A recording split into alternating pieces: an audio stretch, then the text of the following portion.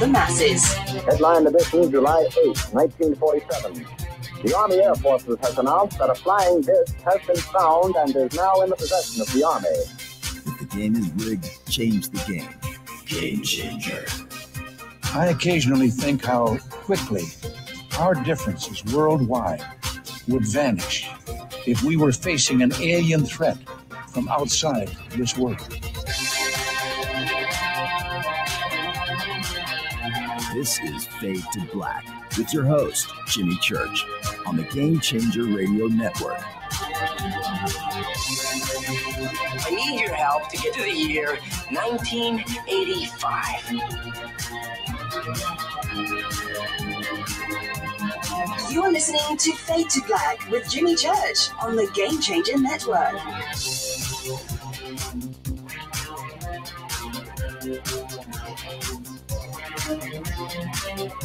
Good evening. Fade to Black.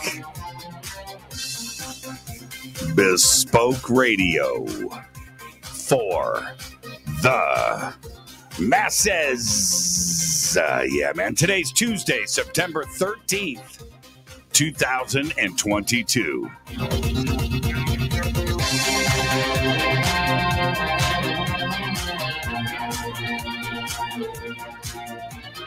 I would like to welcome everybody listening all around the world, all across the United States. Hither and thither, to and fro, back and forth, up and down, east and west, north and south, far and near. This is Fade to Black for KJCR, the Game Changer, and UnX Networks. I'm your host, Jimmy Church. What is cracking, everybody? How you doing?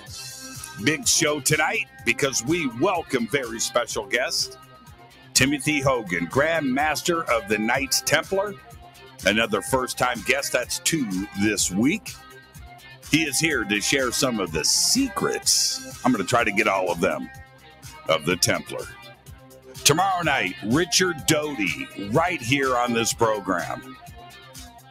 Going to be talking about the misinfo, disinfo that may be going on right now in ufology in our community. What is happening out there? He's the best person to talk to about this. That's tomorrow night. Thursday's another fader night with open lines all night long. All right, coming up, I will be hosting and emceeing the Conscious Life Expo this February 10th through the 13th at the LAX Hilton. Tickets and info www.consciouslifeexpo.com. I was never able to say www really fast. Can't do it. I'm not I'm not going to try it right now. You got to practice that. So I just say www.consciouslifeexpo.com. April 7th through the 14th, 2023, I will be hosting and presenting on the Hidden Secrets seminar at Sea Cruise with Scott Walter, who just texted me right now. And he said, uh, uh, keep. keep Tim on his toes, Jimmy. There it is. Just came in a few seconds. Right as I said Scott's name, it my phone blinked. You probably saw me look down. And uh it's Scott. Keep Tim on his toes. Scott's going to be there. Adam Apollo's going to be there. Nick Pope, Brad Olsen, Vivian Chavez, and and uh, a half a dozen other great speakers. So uh, all you have to do is click on the links below, click on our social media, click over on our website, and get your tickets and go on a cruise with me April 7th through the 14th. It's going to be awesome. I want you to get your free membership to the UnX Network at unxnetwork.com. It's totally free. Uh, who does that? Right? Well, the X does. So head over. You will get their monthly newsletter. You're going to get access to the blogs. You're going to get event notices. They're doing live events all year long. So go and get your membership today. It's totally free. UnXNetwork.com. And you, you know, if if you click on the link and it's below, or you head over to the UnX Network, it's right there. You don't have to navigate. It says, "Hey, free membership." Click here. Go and do it today. And you're also going to get a free digital copy of their quarterly magazine, and it's amazing. All right, so go and do it now. It's totally free. Right now, Eden Pure has their Thunderstorm three pack special. And I was saying this last night um, uh, that we're heading into winter, fall and winter. And do you know what that means? Right? Germs, viruses, things like that. You want to prevent everything that you can, and you do it with the thunderstorm right there. I've got mine. I've got mine throughout my house. I've got them in the car, and uh, the temperatures finally started dropping here in uh, the Mojave Desert, and it gets cold. I mean, it gets cold. It's the desert, right? So winter out here is just like winter where you are. Don't think now it's hotter here in the summer than where you live, but in the winter, it's cold and I need to protect myself as as well as having a clean smelling home and car. Thunderstorm three pack special. Save two hundred dollars on three right now, and you get free shipping. The link is below. Promo code Fader three. If you forget the promo code, click on the link, head over there, scroll down to the bottom of the page. It'll have all those big name radio hosts down there at the bottom, all those big names, including mine and I'm right there. I'm in some pretty powerful company. And uh, it's because the Fader knots are so amazing. Just click on my name, promo code goes in automatically. All right. All right. There you go. See, it's easy. Go and get your three pack of thunderstorms right now. Follow me on Twitter at J Church Radio. That's what you want to do at J Church Radio. Jason Presson over in uh, the feed today posted this picture of this uh, it looks like I think um, that is one of the new uh, Fender. Uh, uh I forget what they're calling that line, but it's got humbuckers. It's got a trem on it, and it's got that cool faded uh, finish on it. he says, "Man, come this weekend." After three equal payments, this baby is mine. Yeah. That's fast times at Ridgemont High, but I had to use it. I had to use it. That's a good looking guitar, Jason. Right on. The sandbox is hashtag F2B on Twitter. We don't bite. Come and hang out with us over there. If you've got the courage, go and join one of the chat rooms. But uh, uh, proceed at your own risk. I'm just I'm just telling you right now. Genocide, Bill, they got their hands full every single night. Thank you to all the moderators that that keep that stuff uh, organized. All right. All right, let's get to the breaking news. Sad news today to report. Jazz great and pianist Ramsey Lewis died yesterday at his home in Chicago. He was 87 years old. Ramsey changed the world, man. He spent nearly 60 years recording and performing original jazz music, but had one the biggest hit of the year, 1965, with that hit, The In Crowd. He won three Grammys, scored seven gold records, and in 2007 was named a National Endowment of the Arts Jazz Master, the highest honor bestowed upon jazz musicians in the United States. Today, I went and watched a bunch of live versions of uh, The In Crowd. Man, what a powerful song. Powerful, powerful. Ramsey Lewis. Whew, man, rest in peace. Amazing. Well, earlier today, Twitter shareholders voted in favor of Elon Musk's $44 billion takeover deal, valued at over $54.20 per share. But today, the company's stock opened at just under $41 per share, nearly 25% below the deal price. The vote came days after Elon's third, third letter to Twitter seeking to terminate their deal. With this one pegged to a purported $7.75 million severance payment that the company made to its former head of security, uh, Peter Zatko, who later blew the whistle about its alleged security and privacy vulnerabilities. Elon said, We had a deal, man. No severance packages that are blown up or inflated. I want out of this deal. I don't know if it's ever going to happen at this point. Well, after that, this news came out about Tesla because a security consultant firm has identified a sophisticated relay attack that lets just two thieves unlock a Tesla Model Y start the engine in just a matter of seconds. Now, this is how they do it. You have one individual, one thief, one criminal to be near the Tesla owner with their smartphone to capture data from their key card. I'm not making this up. While the other waits by the target Tesla, right? With a device designed to pick up the data from their accomplice who's inside the, the coffee shop with the Tesla owner. You know what I'm saying? This attack according to the consulting firm IOActive, is a flaw in a software update Tesla released in 2021 that eliminates the need for the owners to place that key card on the center console to change the vehicle's gears. After the thief drives off with the stolen Tesla, they cannot turn off the engine. Nope, because they won't be able to restart it. But while the engine's running, they're good. And then they don't have the original key card, but you can add a new key card at some point while the engine is running. And that is nuts. Well, Mark David Chapman, the doofus who fatally shot John Lennon back in 1980, has been denied parole for a 12th time. Chapman, who was serving 20 years to life uh, at Green Haven Correctional Facility in New York, appeared before the parole board on August 31st.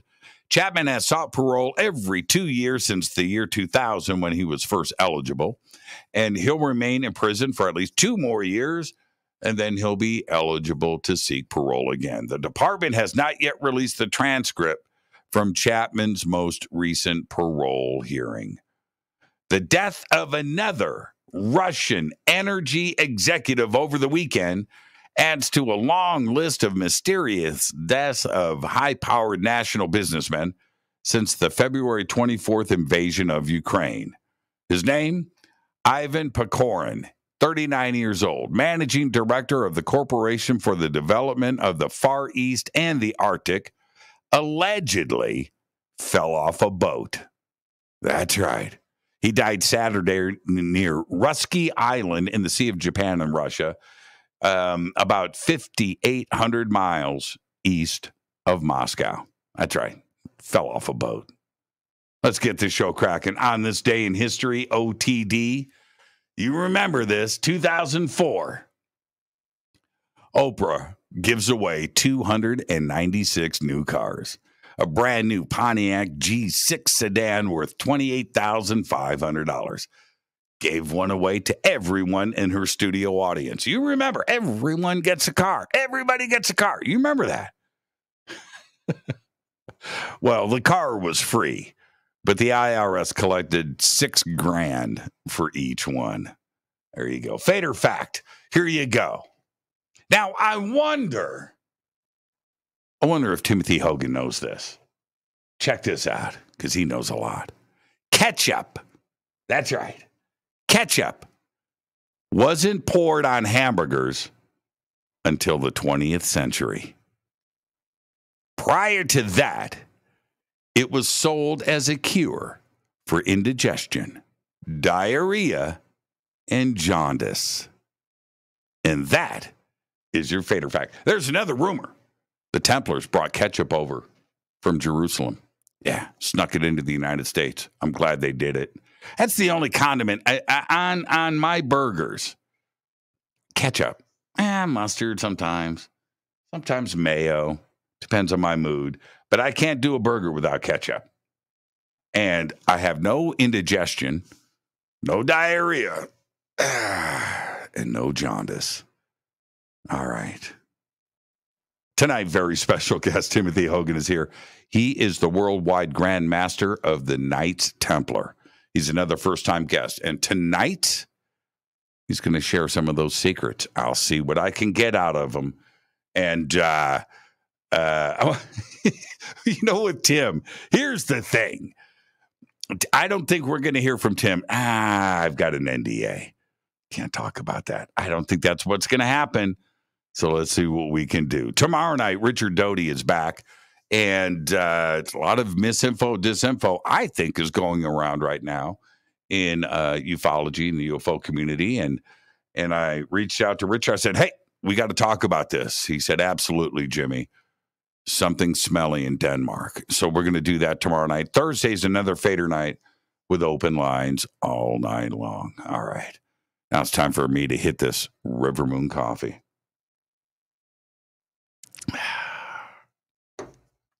The only coffee with my picture on it. Rivermoonwellness.com. Head right over there. Fade to Black Blend, the game changer blend. You can go to the Amazon store. You can go to the website. You go to Amazon, free shipping if you're a Prime member. That's a great deal. Head over to the website, use the promo code F2B Blend. You'll get 15% off of your order today. They have been with us on this program for a very long time. And Juanita and Jeff are fader knots to the core. And uh, I, I just can't say enough. I'm so thankful for their sponsorship and their friendship. Fade to Black Blend. It's the best coffee in the world. Seriously. You should go to their website and check out how they make the coffee, where they get the coffee, how they source it. Um, and and it's it's just done with morals and ethics as it should be. Fade to black blend. I like my coffee dark. All right. The Knights Templar. The Knights Templar. I've been hearing about them since I was a kid. Here's the deal when you go through at, at the age when I started to hear about the Knights Templar and and you would look at what they wore, right? The shields, the cross. And there was a certain amount of uh, uh how do I say this? There was mystery, there was mystique, but there was a big dose of I want to do that. I want to be that guy. And you hear about uh, their their their rules and and what it took and who they were. That added to all of it, right? And so then you start to read and and I'm talking about a very young age. And you you you find out about the crusades you um, you read about how uh, the support to get these pilgrimage uh, pilgrimages to to Jerusalem and, and safe passage and and how uh, brutal you know that journey was. That just wasn't easy. You're not just ticketing you know passage on on a on some yacht or some boat and and heading over. No, it was it was something that you risked your life for. And that's that's what the Knights Templar. So you read that part of it. And then you you swing it over and you start to get a little bit deeper into it and and you find out about the the strength and the defending of uh, the pilgrims in Jerusalem. There was uh, quite a few uh, different different countries in the world that that didn't dig what was going on there. Um, and so you, you hear about that part. And then you hear, you just do the deep dive, the banking system. Right now, wait a minute. What? What did they do? Right? They developed a banking system. These guys are knights, right? Defenders of the faith. Banking systems. And then you then you hear the stories about uh, the pursuit of religious artifacts, and you hear about this and and what they found and how they found it. You know, uh, buried deep underneath uh, Jerusalem, under tunnels, uh, in tunnels, under temples. You hear about that part, and then it's Friday the 13th. And you hear about not only that, but uh, immediately before that, the the power that was incidental. It comes along with it that the Knights Templar grew. They started uh, buying land. Um, they had the banking institution there, and they started to and, and and quite possibly possess some secrets. There's alchemy that was involved too, as well, which was a pursuit of every king and queen and and lord in Europe uh, to uh, to get to these secrets of alchemy. Um, there was religious artifacts, and then came what is going to do uh, what is going to happen with that? The incidental. It's called power. Can't have that. And so friday the 13th comes along and we hear about that. All of this when you look at uh, the and what happened you know what happened it couldn't have been a couple of dozen guys. That's that's not the case. So what happened to the wealth? What happened to the artifacts? What happened to the secrets? Um, where did they go? And where are they today? You have all of that. And then there's this for me. And i and, and i don't say this in a in a clandestine way or in a in a, a, cavalier way. Clandestine maybe it's that too as well. In a cavalier way. Then you have something like how the knights templar were starting to uh, be portrayed in history books in the media in movies and the holy grail. And then you have monty python the imaging that was there and it, now i understand this is this is history but did Parzival have it right? Okay? And monty python and the holy grail um, and the imaging that was there i sat back and went wait a minute. Is this the Knights Templar? Which also, uh, the story about the Grail, funniest movie ever in the history of everything. And I get that as well. But a lot of people saw that movie.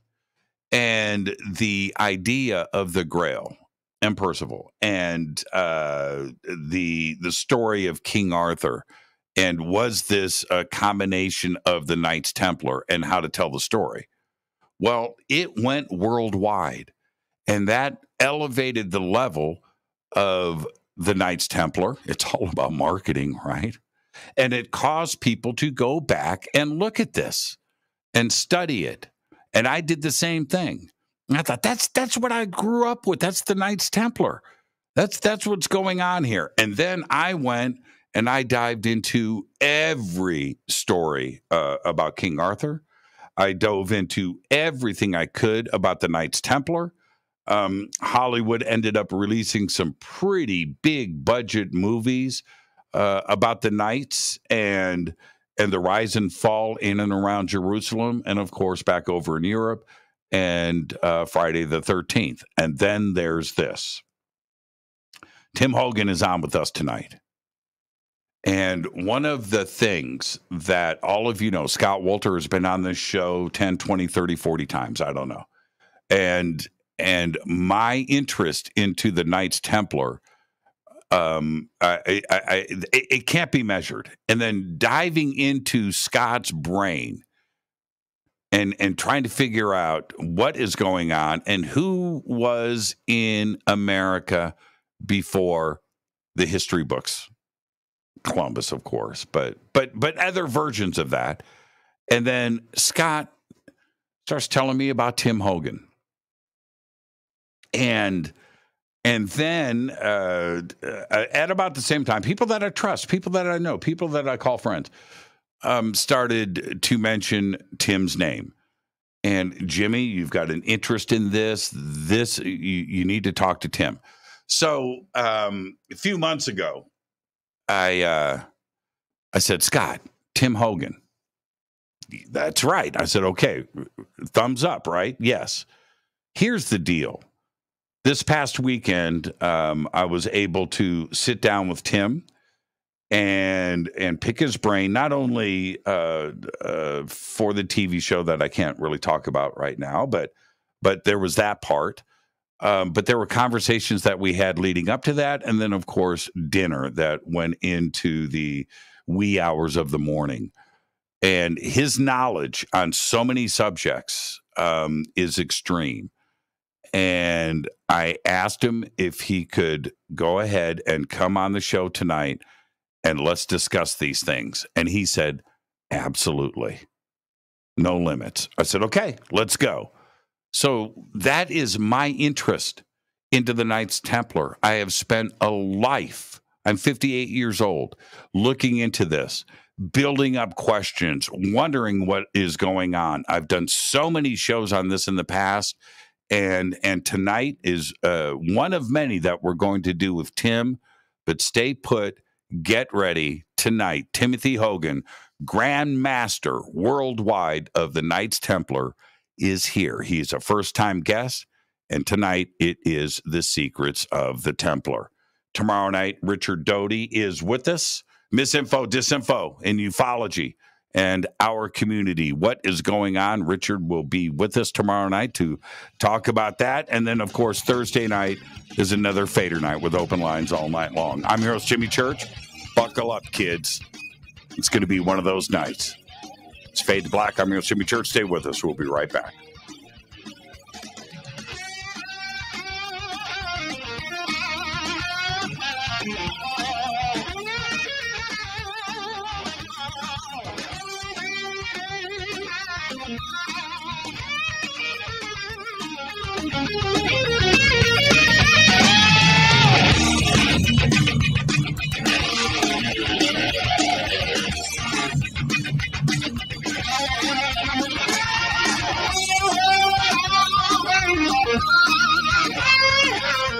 This is Nicole Church, daughter of you know who, and you're listening to Fade to Black on JimmyChurchRadio.com and the Game Changer Network.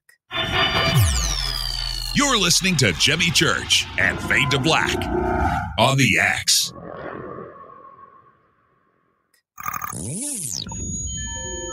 You're listening to Jimmy Church Fade to Black. Fade to Black will now pause for alien identification. The station that talks the net. When you take the beans from Central America with dashes of Indonesian and African mixed in and then roast it to the dark side of Fade to Black, you create the ultimate brew of fringe. Introducing the Fade to Black blend from Rivermoon Coffee. Yes, Rivermoon's darkest customized roast was created for the love of Fade to Black. The alchemy of masterful roasting and smoking the beans is in every sip of this full bodied, dark Java. I need my coffee dark, deep, with distinct bittersweet chocolate highlights, just like the bunker. Leaning further into the darkness of the roast is Fade to Black Blend from Rivermoon Coffee. Just click on the banner at jimmychurchradio.com and use the promo code F2B Blend for 15% off of your order today. This is the only way forward. This is Fade to Black. Make contact. This is Jimmy Church of Fade to Black, and you can get our podcast for just $2 per month. All you have to do is click on the podcast banner over at jimmychurchradio.com. Hello, Fadernauts. Jimmy Church here. You've seen me with my thunderstorm. Now you can purify the air in your home and get healthy, clean, fresh smelling air and eliminate odors just like I do right here in the bunker. The EdenPure thunderstorm uses oxy technology that naturally sends out O3 molecules into the air, which seek out odors and air pollutants in your home and destroys them. It's called a thunderstorm because it purifies the air just like after a thunderstorm. And right now, you can save $200 on an EdenPure Thunderstorm 3 pack for whole home protection. With this special offer, you're getting three units for under $200. Seriously. Go to EdenPureDeals.com and use Fader3. Shipping is free and it's easy. Just scroll down. You'll see my name right there Jimmy Church. Click on it and get your deal today. That's EdenPureDeals.com. Do you have an interest in the paranormal? Then you'll love the unxnetwork.com.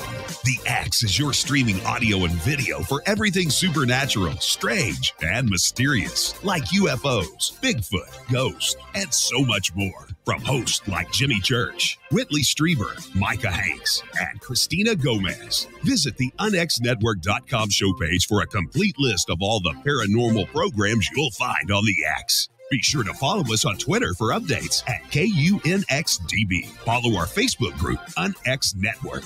Find the podcast on Spotify, iHeart, Audible, and Apple Podcast.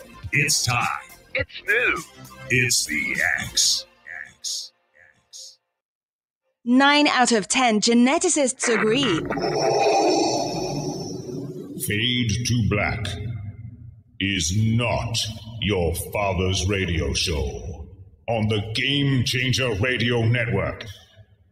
Hi, this is Robb Reiner from Anvil, and you're listening to JimmyChurchRadio.com. What's up? I'm Chris. What up? This is Kyle Manson. You're listening to Jimmy Church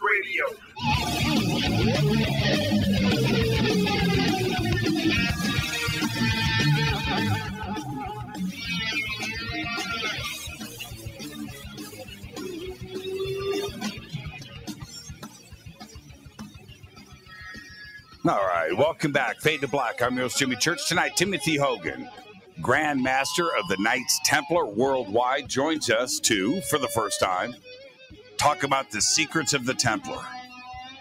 He is the worldwide Grand Master for the Knights Templar, OTSI, and he runs the Templar Collegia in conjunction with it. He has been knighted in France uh, to the Order of the uh, Paraclete and the Dove and knighted in Scotland into the Order of the St. Andrews and into the Royal Order of Scotland. He has also been knighted as a Gold Star Sir Knight of the Knights of the Glen. He has been a student and a past master within several different esoteric organizations over the last 25 years. He has studied and served as a leader within various branches of Freemasonry, Rosicrucianism, uh, Martinism, and Templarism, as well as the orders of both Eastern and Western lineage. He has written eight books and dozens of articles for different periodicals. He is known for speaking worldwide at both public and private venues, delivering hundreds of lectures. Timothy serves as an expert in uh, cross cultural symbolism, and he is regularly works as a consultant in the entertainment industry and helping in track two diplomacy worldwide. Uh, all of his books are in the links below, and I would welcome, like to welcome for the first time to Fade to Black, Timothy Hogan. Timothy, sir, how are you? Great. Thanks for having me on. This is a big deal to me, man. This is a big deal. Well, it's a big deal to me too. Well, here's the you know I uh, I know you were probably uh, listening earlier, and I like uh, so many uh, eh, you know kids right? Kids knights right? And and things. We grow up and uh, following this we all we man we all wanted to be hanging out in camelot you know? And uh, so there's that part of it. But uh, meeting you um, is is it, it was meant to happen. And so thank you. But before we get started you get the first time guest disclaimer. All right. Which is this Timothy, it's just you and I sitting on my couch having a conversation as friends. And where that conversation starts, it starts. Where it ends, it ends. But we're going to end as friends. There Sounds you go. great to me. Well, we're already friends, but yeah. you know, it, it, the first time guest disclaimer is a big deal. So there you go. Um, I kind of want to start here.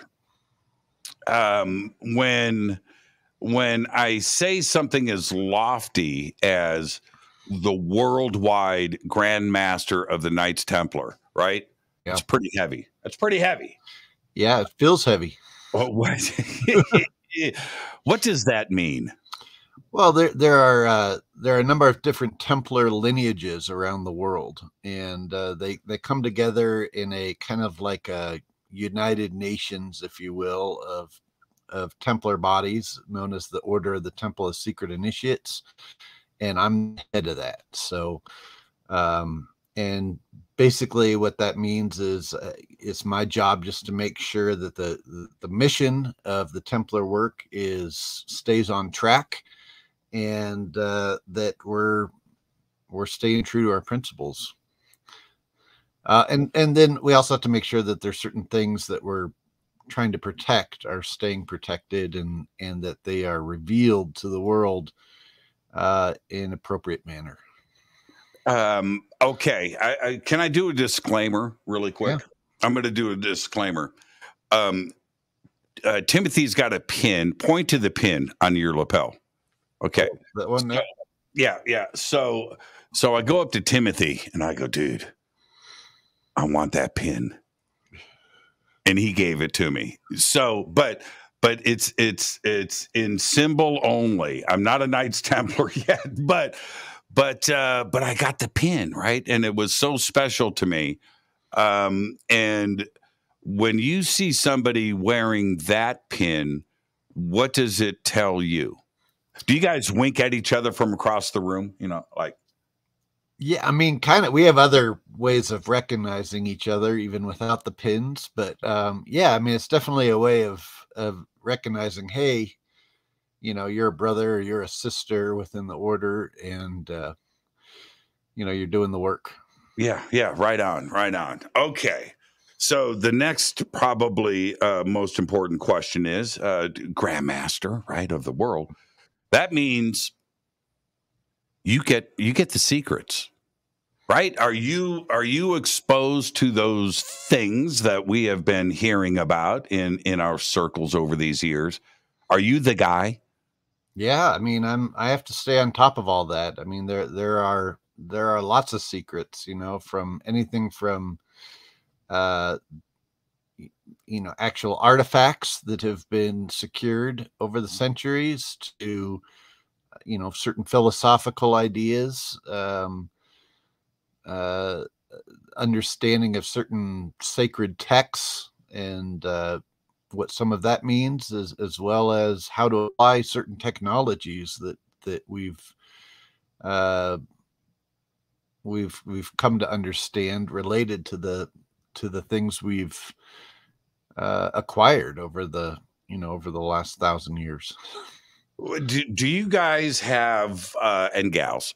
Mm-hmm do you guys have a central depository, repository, uh, a central place, or are these things? And we're going to talk about this as as the night unfolds here, of course. But um, or is it spread out around the world?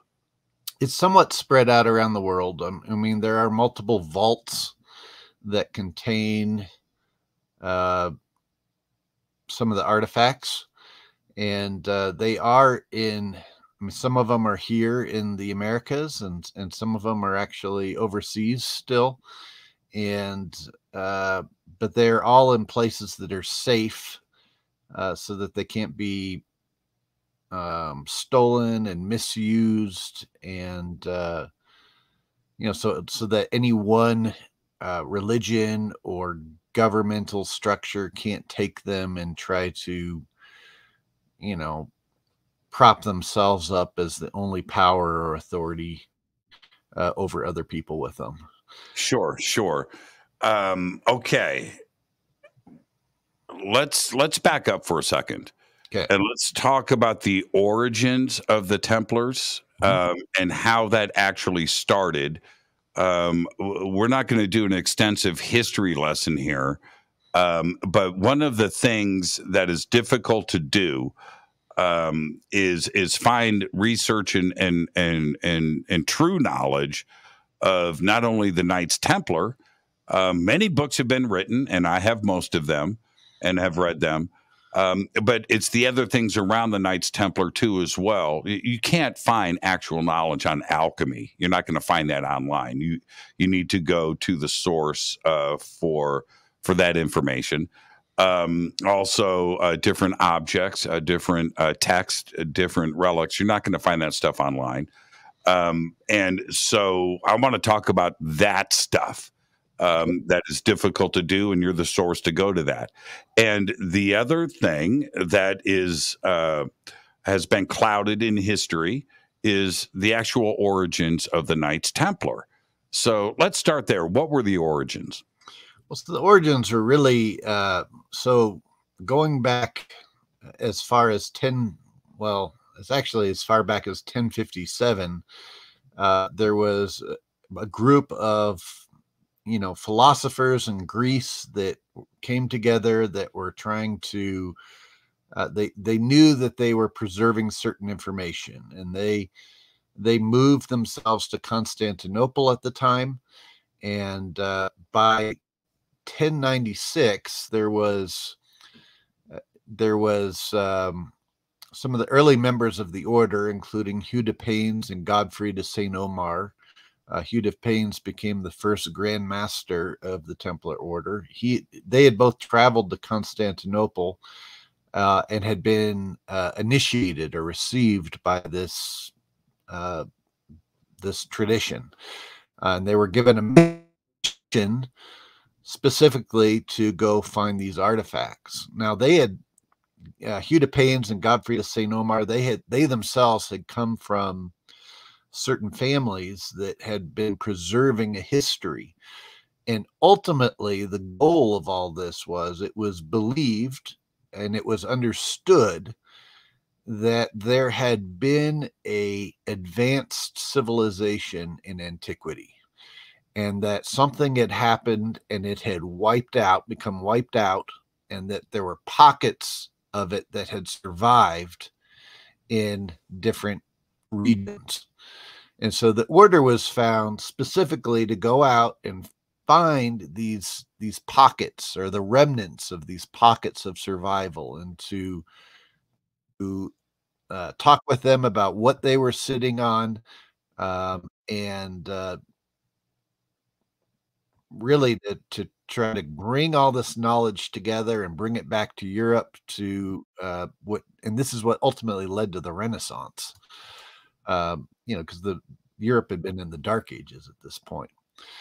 So they they um, ended up going into Jerusalem, which was one of the places that they were. They knew there were certain artifacts. Uh, they started digging. Uh, they were officially founded according to uh, the Roman Catholic uh, tradition. They, they were officially established in 1118, but really this was just when the Roman Church started getting involved with them. Uh, they had already been doing stuff prior to 1118, um, but they uh, they started getting some um, patronage from certain members of the Roman Church, and they began digging.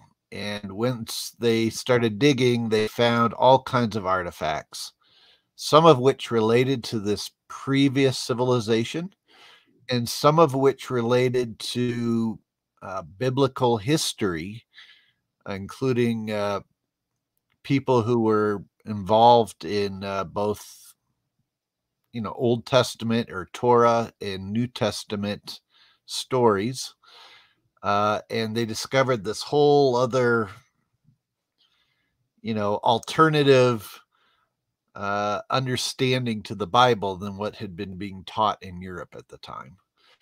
Uh, and they tried to bring some of this stuff back to Europe, recognizing that some of it would be accepted, some of it really people weren't ready for yet, and uh, some of it they specifically made sure not to turn over to the Roman Church because they knew it would just disappear if they did that.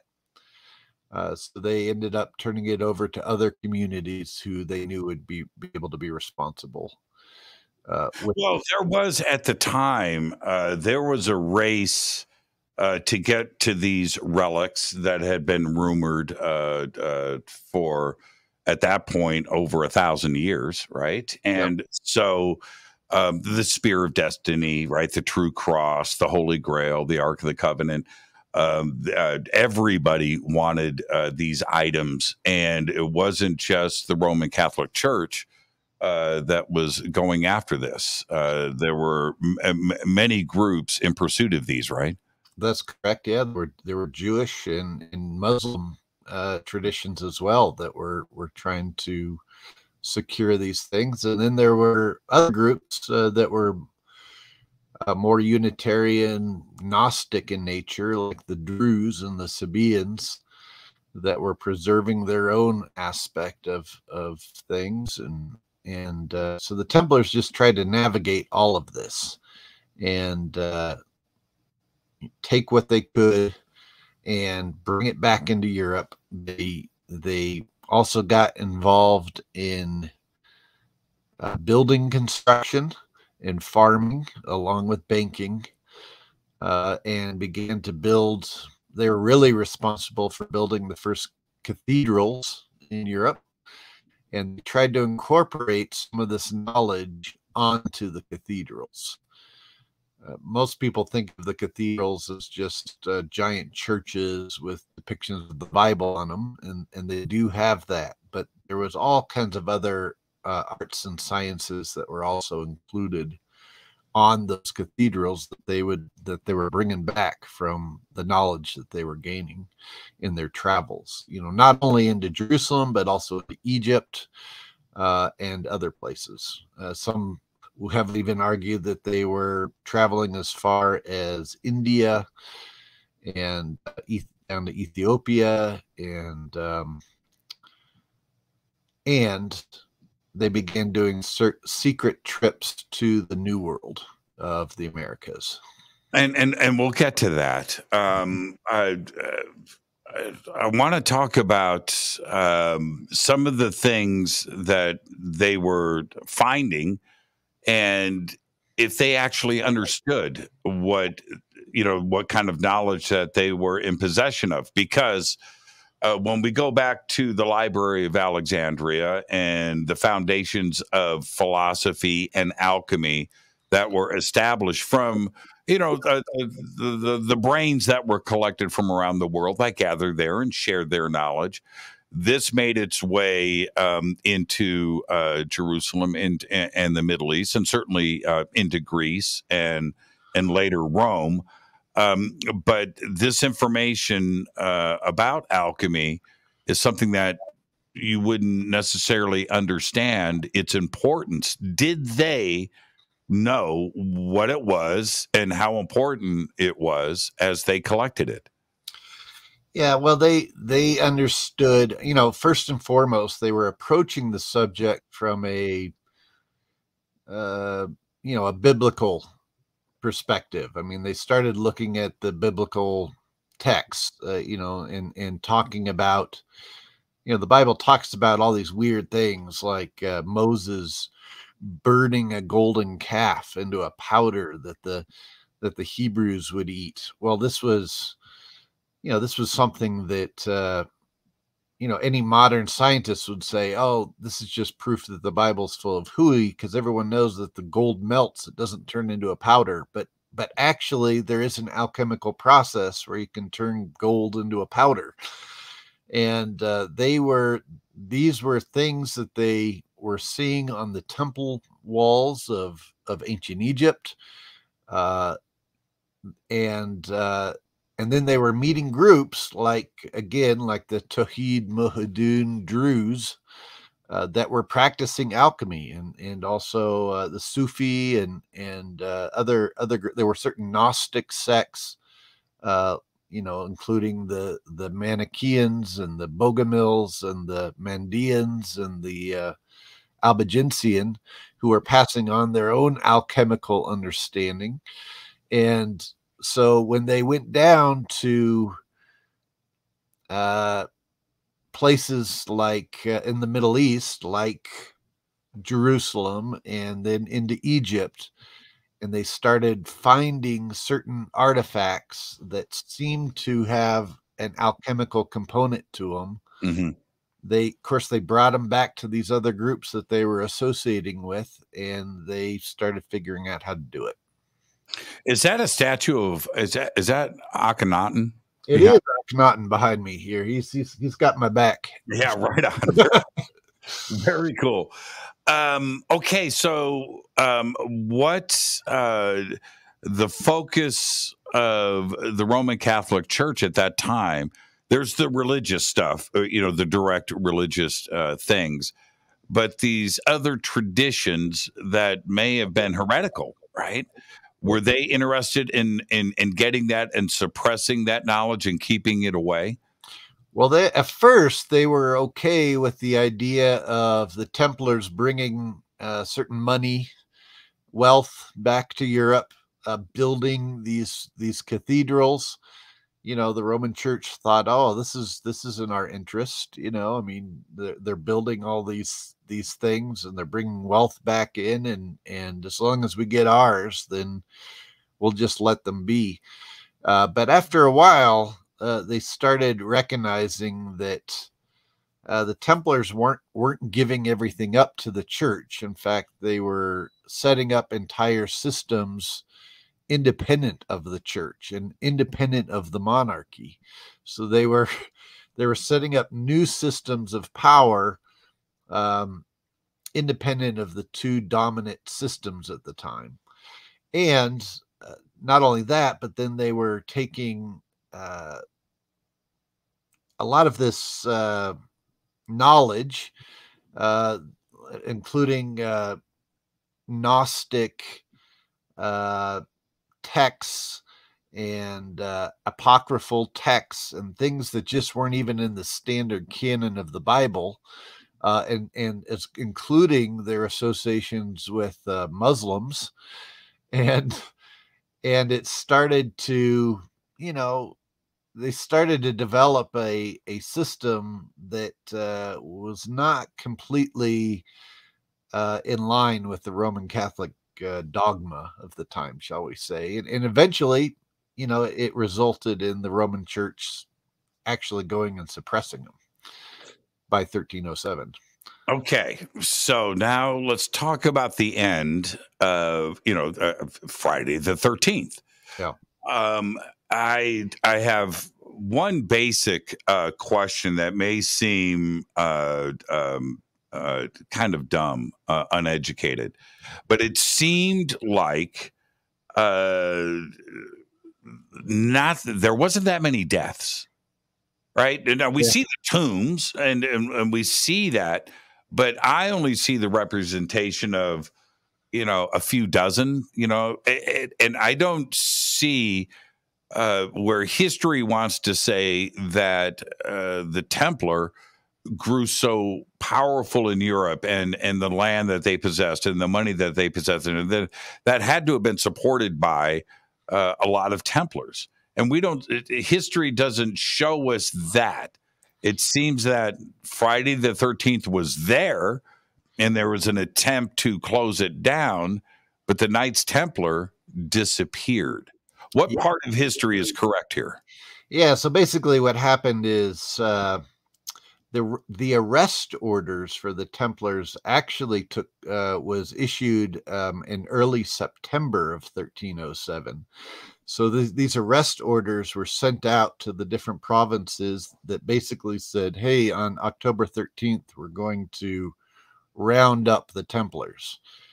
Um, so what the Templars did is, of course, they found out about this. I mean, it was supposed to be secretive, but they found out about it. So what they did is they they left, um, you know, about a hundred Templars behind in France to pretend like, you know, everything was going as business as usual, and then they got all the other Templars out of there with the treasures and their ships and everything else so that uh, and the, the hope was in, in, including jacques de molay who was the grand master of the templars at the time he stayed behind hoping that uh, when the arrest orders came that yes there would be you know uh, about a hundred of them arrested in paris but it was his hope that he could negotiate out of it and that and that reason would prevail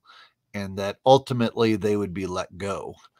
Uh, but of course that didn't happen. Um, the uh, the roman church wanted the templars to to merge with the knights hospitaller uh, which was another competing uh, order, and uh, which later became known as the Knights of Malta.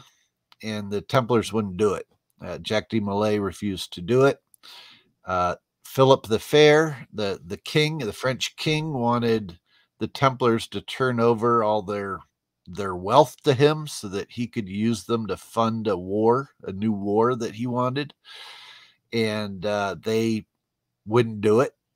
and so as a result of all this, you know, with the with the with the treasures missing at that point, with all the holy artifacts having disappeared, as well as all the ships, uh, you know, the the Roman Church and uh, the French king were left in a real bind because everything that they were going after, it was very clear they weren't going to get. So they tried to extract it via torture for seven years. And, uh, you know, a number of Templars died via torture. And then ultimately by 1314, uh, they ended up burning Jacques de Molay at the stake, uh, as well as with other Templars like Geoffrey de Charnay, who was the Grand Preceptor from Normandy, and uh, they, you know, and and uh, but Jacques de Molay issued a, a curse right before he died, uh, saying that. Uh, Philip the Fair and Pope Clement V would would join him within a year, and sure enough, they both died within a year after uh, Jacques de Molay was burnt at the stake. So, so um, we, we, need to take a break right here, and when we come back, I, I, I, think it's important that I left everything out. You know, we got the beginning, we got the end. Okay, now what happened next, and and where did everything go? and where are we today? We've got a lot to talk about tonight. Everybody just stay right there. This is Fade to Black. I am host, Jimmy Church. Tonight, the world grandmaster of the Knights Templar, Timothy Hogan, is with us. We'll be right back after this short break. This is Fade to Black on KJCR, the Game Changer, and NX Networks. I'm your host, Jimmy Church. Stay with us.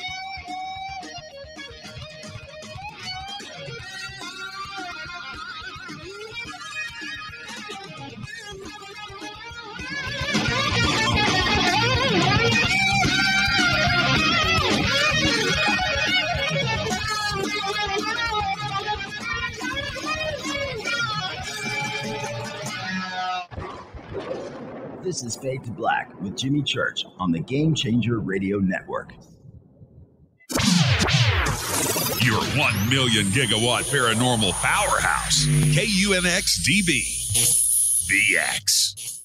Hello, Fadernauts. Jimmy Church here. You've seen me with my thunderstorm. Fire the air in your home and get healthy, clean, fresh smelling air and eliminate odors just like I do right here in the bunker. The EdenPure Thunderstorm uses oxy technology that naturally sends out O3 molecules into the air, which seek out odors and air pollutants in your home and destroys them. It's called a thunderstorm because it purifies the air just like after a thunderstorm. And right now, you can save $200 on an EdenPure Thunderstorm 3 pack for whole home protection. With this special offer, you're getting three units for under $200. Seriously. Go to EdenPureDeals.com and use Fader3. Shipping is free and it's easy. Just scroll down. You'll see my name right there, Jimmy Church. Click on it and get your deal today. That's EdenPureDeals.com. This is Billy Carson, founder and CEO of ForbiddenKnowledge.tv. ForbiddenKnowledge.tv is the fastest growing and one of the most watched networks in the world. And I would like to personally invite you to check out our expanding library of TV, film, lectures, and special presentations. ForbiddenKnowledge.tv has over 6,000 videos covering lost history, health, UFOs, spirituality, and our future. We are committed to our community, and with my personal invitation, you can right now get your own free 30 day membership at Forbidden forbiddenknowledge.tv. Your own library of information starts today at forbiddenknowledge.tv. Because you never got that pony you always wanted. Damn it. Jimmy Church and Fade to Black on the Game Changer Network. Listen, I know and you know that you've always wanted your first crystal skull. Or maybe you're a collector just like me, but you just don't know where to go to find the real thing. Then I met Carolyn Ford over at EinsteinTheCrystalSkull.com.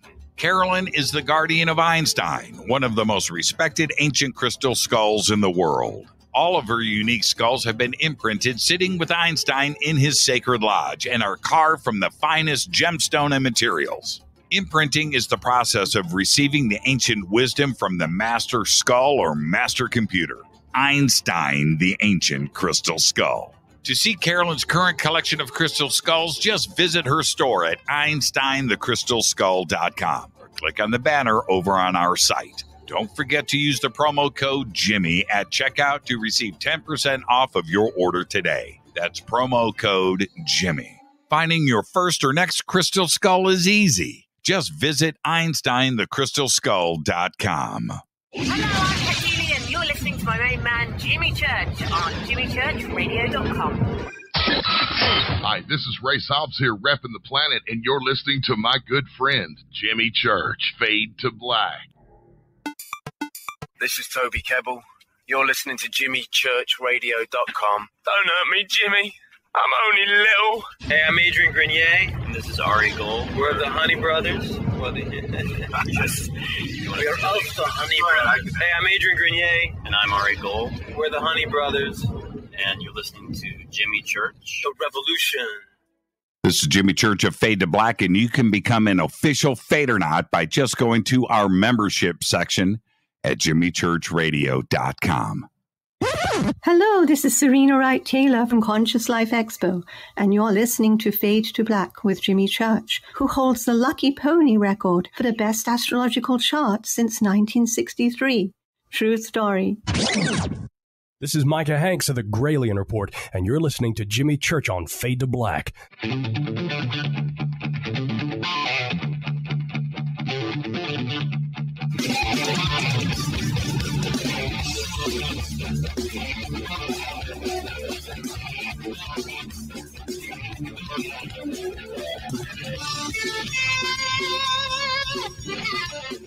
Welcome back, Fade to Black. I'm your Jimmy Church tonight. Timothy Hogan is with us, worldwide Grand Master of the Knights Templar. And uh, now I've set the stage, uh, the beginning and, and the end, uh, the technical end. Uh, I, I, guess I could say the um, uh, what's the, the dogma end, right? of of, uh, of what we've been told over the years of the Knights Templar. Um, now, uh, for everybody uh, that is listening tonight, there's a few things that uh, need to be discussed because, you know, we just want to know.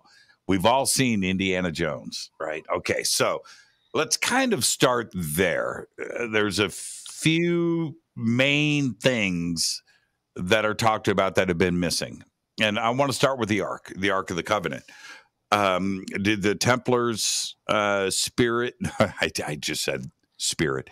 Did they spirit that out of Jerusalem? Yeah, so uh, uh, there were actually multiple arks that were, uh, according to our tradition. Uh, I mean, th- there were multiple arks that were taken out of that region. Uh, and I say multiple arks, I mean, most people think of one Ark of the Covenant.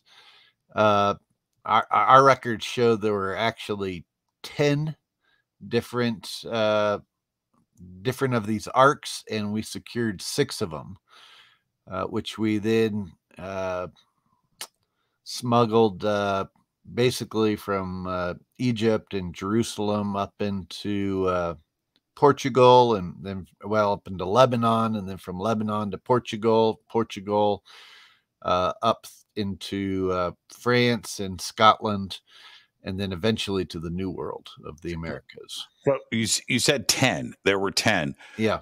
Um, and you, you, you, the Knights Templar, uh, uh six. Yeah, yeah six them. But was one the Ark of the Covenant, and the and there's nine others, or were they all the same? I think they're all all this. Well, they're all pretty much the same. They they are. Uh, the thing you have to understand about these arks is that they're basically uh, big capacitors. They, they they are made out of alternating layers of acacia wood and gold, and uh, they weigh you know a couple tons, and uh, they are built in such a way that uh, they, especially if they're put in a somewhat of a static environment, if if you remember. Uh, the arks were the ark Even if you look at the the uh, the Torah or the Old Testament, it, it talks about how uh, originally, prior to Solomon's temple being built, there was a tabernacle erected in the wilderness, and it was erected with these uh, wool, wool, uh, basically sheets. And uh, these wool sheets would just build up static electricity and the, the well they would they would collect static electricity and then the ark would would build it up and uh, it would discharge through the through the the winged fingers figures on the tops of it. And this is really the reason why even in the torah it talks about how you couldn't touch the ark without dying because you'd be shocked to death. I mean, it would literally shock you to death. Even if you were a good person, if you touched the ark, it would kill you. And so uh, the the way around this was they they would take a a, a rod, like in the Bible they refer to like Aaron's rod, and they would take this rod and stick it on the ground and then let go of it, and it would uh, fall into the ark and it would ground the electricity and then they could take the lid off the ark. It would discharge. Discharge it. Yep. Okay, so six. The number shall be six. Yeah. Okay. Um, is the Knights Templar still in possession of the six arks today? Yes, we know. Well, we know where they are. They're in a series of vaults, and uh, we are responsible for guarding them. And we work with other groups who are also responsible for guarding them until the world's ready for them basically. Uh, do, uh, have you seen them? I have. Not all of them I, but i have seen some of them and what can you tell me? Uh, what did you see? You're still alive right? So, but um, uh, what did you see? How can you describe them uh, to me well, yeah, I mean, the, they're they're gold boxes. I mean, the actually the depiction of it in uh, Raiders of the Lost Ark isn't too bad, uh, to be honest. Uh, but uh, these these boxes are actually depicted on the, the ancient Egyptian temple walls.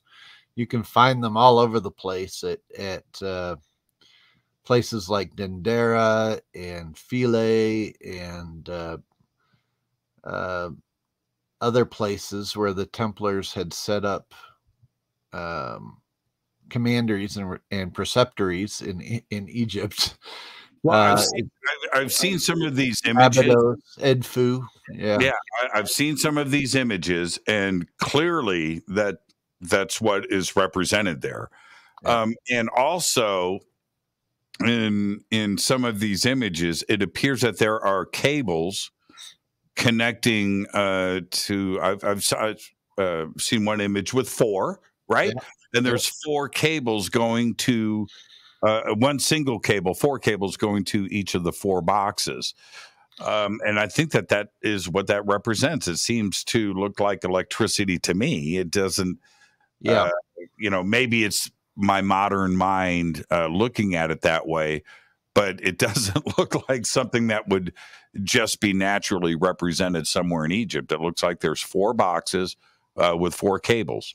Well, there's no it's no coincidence that the that the one of the words for uh, an electrical spark is known as an arc.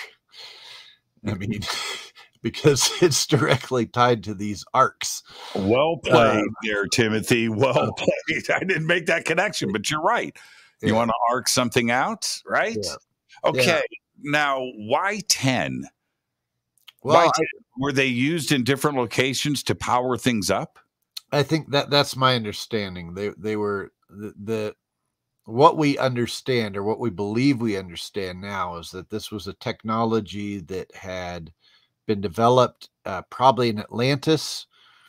Maybe it was given to the Atlanteans by other entities from off this earth. I don't Okay, know, but, okay, but okay. Let me stop you right there. The Bible says God. yeah. No. Yeah, I mean, it, you know, the, the thing is, you can build one of these, and uh, they're not that complicated to build. But but um, the real secret to them is there was a s- there's this substance that was put inside of them that was called mana, and this mana is a superconductive substance.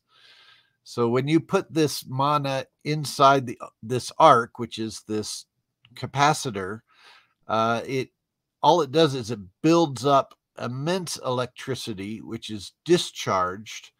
And uh, if you had several of these placed at key locations, uh, they would basically just broadcast electricity uh, through the earth, through uh, you know electromagnetic lines of force on the earth, uh, much like what Nikola Tesla was trying to uh, do with his Wardenclyffe Tower. Now, um, I thought mana was stuff you ate. Yeah, you could eat it too. Yeah, it's uh, it's both. It's it's uh, you know, it's a strange it's a strange substance. Uh, it, it it can be extracted out of uh, vegetable matter, as well as sea salt, um, as well as metals. Uh, but it's uh, it it- can be eaten, and it and it seems to have health benefits in terms of being able to cure certain diseases, certain forms of cancer. Uh, but even beyond that, it, it also has this superconductive quality to it. And when it's put in these boxes, it just generates uh, tremendous electricity. So it had a twofold process and and the well twofold uh, purpose, but the the process for making it was an alchemical process.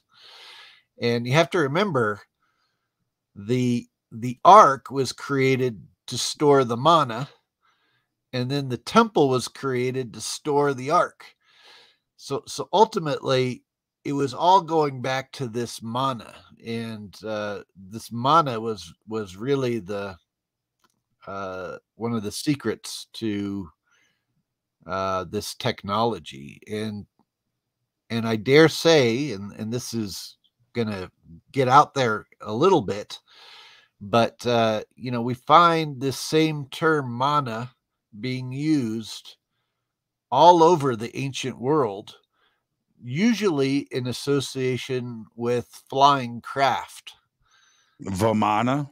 like vimana Right. uh, in the indian texts in uh, ancient sumer it's uh, the, the flying craft were referred to as shimana Right. in uh, in uh, uh, Ethiopian texts like the Kebra uh, King Solomon was said to have this flying carriage, and he was manufacturing mana for it. Uh, but we also find it in things like um, in Polynesian cultures, it's referred to as mana. Uh, in Tibetan traditions, it's referred to as mani. Uh, in some of the Albigensian Cathar traditions, it's referred to as mani as well. In fact, uh, if you ever if you ever see the uh, there's a Tibetan prayer that goes Om Mani Padme Hum. It's uh, it's a real common. You'll see that if you go into any uh, import store that sells Tibetan stuff, you'll see it. They, they always have a plaque or a flag or something with Om Mani Padme Hum on it. But but Om was said to be the word of creation. Mani was said to be the, the precious jewel or the precious stone. Uh, Padme was the lotus, and Hum was the completion. So it was basically saying, you know, through through the use of the word on this precious white material, this precious jewel, uh, it can open your chakras or your psychic centers and bring you to a, a full completion. This is basically what it's saying. Uh, but it, it goes right back to the same the same substance, exact same substance being used all over the world and described all over the world. Now, are all of these uh, 10 arks, uh, you, uh, the Knights Templar have six, Yep. same dimensions? Are they identical? Yeah, they're all the same dimensions. They're they're relatively identical. Um, and it it perhaps more than coincidence. It's also worth pointing out that uh, the outer dimensions of these arks are the same as the inner dimensions of the king's chamber, the sarcophagus in the king's chamber of the Great Pyramid. Yeah, some call it sarcophagus. I call it a box. Yeah, that I'm not- box. It's, it's a little small to be a sarcophagus. But so the Ark of the Covenant, uh, the Ark would fit inside of that to do its to do its thing. Yeah, to broadcast the electricity around the area. Yeah. Right, right. And, Very- and some have speculated even that this was may have been why uh Pharaoh was really chasing Moses because he stole one of the he stole one of the arks out of Egypt. Yeah, and he needed it. Yeah. Um. Uh. Okay. So the R. uh, if- I want to move on to some other things, but um, when can we see one? I want to see one. Does Yeah. my pin? Does my pin get me? Yeah.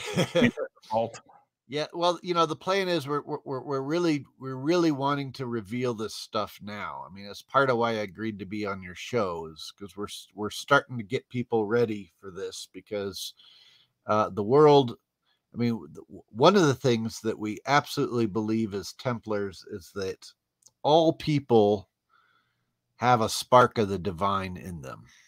Uh, we call it the sacred flame, and it's within everybody and uh, so no one group uh, is the chosen ones. We're we're all the chosen ones. We just have to like lift ourselves up, and uh, and so these these treasures are really for the whole world. Um, we just have to make sure that uh, if we do start to reveal them, they're not going to be misused or misappropriated um, and uh, that people understand what they are and that they're not meant to be some sort of you know secular badge for some some group to wear but rather uh, as as something to celebrate as our collective humanity Are uh, would you consider them to be symbolic today, um, or could they still be used for something? Oh, they could still be used for sure. Absolutely. They they could generate uh, they absolutely could generate electricity around the planet. I mean, just throw some of this mana in there and uh, you know, put them in the right places and they'll start to build up electricity and they'll broadcast it. You know, uh, a, a big reveal like this would would would change history. Uh, uh, could the world handle uh, this kind of uh, exposure? You know, it's it's it's a funny thing. I, you know, Nikola Tesla tried to do a similar thing a hundred years ago, and uh, people weren't. It's it's debated whether people were ready for it or not. Uh, there's certainly the power structures at the day didn't want him to reveal it uh, because you start broadcasting free electricity to the world. I mean, how you how do you make money off of that? Well, You know? See, we, there's the technical side of this, the technology side of this, but there is also, uh, like I said, there's a, a huge amount of symbolism here. Yeah, Um, and and uh, I, man, I mean, I mean, and you could say even from a symbolic standpoint, uh, you know, even if even if there was no actual physical ark, even though there are six of them, uh, the Temple of Solomon was built to be a giant human body in stone, much the same way that the Egyptian temples were, were built, and the same way that the cathedrals were built. And so when the ark was put in the Sanctum Sanctorum, uh, or the Holy of Holies of Solomon's temple, the, the spot accordingly in, in the human body would correspond to the brow or the or the forehead or the third eye. And this is, of course, you know, the ark was described as a communication device with God. Well, you know, symbolically, you know, you could say we have our own symbolic arks within ourselves, you know, within our heads, within our foreheads, that's that acts as a communication device with God as well. But uh but uh, beyond that, there was an actual technology to this. Uh, the Holy Grail. Yeah. All right. Now, I was talking about Monty Python earlier, and uh, in, in a strange way, that story made it out to the masses and and allowed us to do, do a deeper dive outside of the comedy. But there, um, uh, the story itself, you know, going back to Parsifal and and and some of the other uh, stories uh, in the past, and the reference to the Holy Grail, um, and even in uh, in, in Monty Python, they they they call it the the Graal. Yeah. And they, they spelled it uh, a different way, which I always found interesting. Okay, so let's go to the Holy Grail. Yeah. What is the Holy Grail? We've got so many different modern versions of it uh, out there now, and of, of course Dan Brown and and his version of it, and it's the bloodline of of Christ. Uh, what is the Holy Grail, and do the Knights Templar have it? Yeah, so there were two well, there were basically three types of grail. I mean, one did absolutely represent this bloodline uh, from Jesus and Mary Magdalene, and also John the Baptist and Mary Magdalene, which is, uh, you know, going to be controversial to some, but but at least uh, you know the, the the text that we have suggests, and the some of the artifacts that we've acquired uh, definitely suggests that Mary Magdalene was married uh, first to John the Baptist, and then when John died, uh, she was married to Jesus, and they had she had children with both of them. So this is the you know kind of the first thing that people are going to have to wrap, wrap their heads around. But then the second thing is you know the, the, really the only value of that bloodline was they were preserving a certain knowledge. And this knowledge goes back to the second aspect of the Grail, which was this alchemical science, which was the science of creating this mana. In fact, if you look at the earliest Sumerian texts, uh, where it talks about this science that the Anunnaki gave to mankind, uh, it was referred to, as Graal, G R A dot A L. This is the earliest uh, use of this word that we ever find is Graal, and it alluded to the alchemical science, the science of alchemy.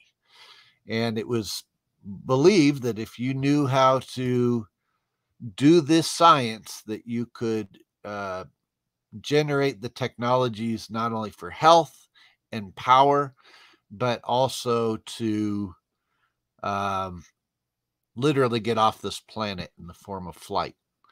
And can I can I jump in for a second uh, before yep. we get to the break? I believe um, that in those Sumerian texts on those tablets that they also referred to a process of powdering gold to disperse in their atmosphere to to block uh, the radiation. Yeah. And it was also a reference of powdering gold, and it just never made any sense to to a lot of us. But but it's also what you're describing here uh, uh, with the Knights Templar, mana, yep. and the operation of the Ark. Absolutely, and in fact, uh, even uh, even in the story Parsifal, by Wolfram von Eschenbach, which was written in the 1200s. Uh, it and Wolfram von Eschenbach was a Templar. Uh, he says that the guardians of the Grail are the Knights Templar. And one of the descriptions of the Grail is it says it is a stone that burns the phoenix to ashes, after which it comes back renewed. Well, this is a clear alchemical metaphor. I mean, it's alluding to the same process. And so this is in the 1200s uh, where, where this was being alluded to. So this is kind of the second grail aspect. The third grail aspect was philosophically, the grail represented the meeting point between where uh, human consciousness uh, connects with the consciousness of the creator. Whatever you want to call the creator you want to call it god or allah or krishna or whatever whatever you want to call it the name doesn't matter so much. Um el Elyon, uh what but it but it did represent the place where our consciousness our individual consciousness connected with the God consciousness, the, the, the creator consciousness. Uh, or, in other words, uh, within the Gnostic tradition, this was referred to as gnosis or divine experiential knowledge, revelatory knowledge that anybody could attain. Uh, you didn't need a priest to do it, which was part of the reason why, uh, you know, the Roman Church became so uh, you know, uh, hard on the Gnostic groups because they were bad for business. Basically, yeah, it was the real knowledge. Um, let me ask you this before the break: How did the uh, the chalice, uh, the the Last Supper version of the Grail come into the mix? Misdirection? No, I mean, it, I mean, ultimately, the the Grail is a container uh, it's just a question of what kind of container is it. Uh, in one of the one of the the Grail legends, it even says that the Grail was an emerald that that that there was a war in heaven and and uh, Michael, Archangel Michael, knocked this emerald out of the crown of Lucifer. Mm-hmm. And this crown, this emerald was brought to Earth by neutral angels, and uh, and that uh, this became known as the Holy Grail. This this particular crown, and some say it was made into a cup, others say it was made into a tablet, and of course, this is the origin of the quote unquote emerald tablet of Hermes, which is a, a tablet of alchemical instruction. Let's take our break right here. Our guest tonight, Timothy Hogan worldwide grandmaster of the Knights Templar, here with us for the first time. I'm going to get all the secrets I can. I am having a good time. This is Fade to Black. I am Rose Jimmy Church. We'll be right back after the short break. Stay with us.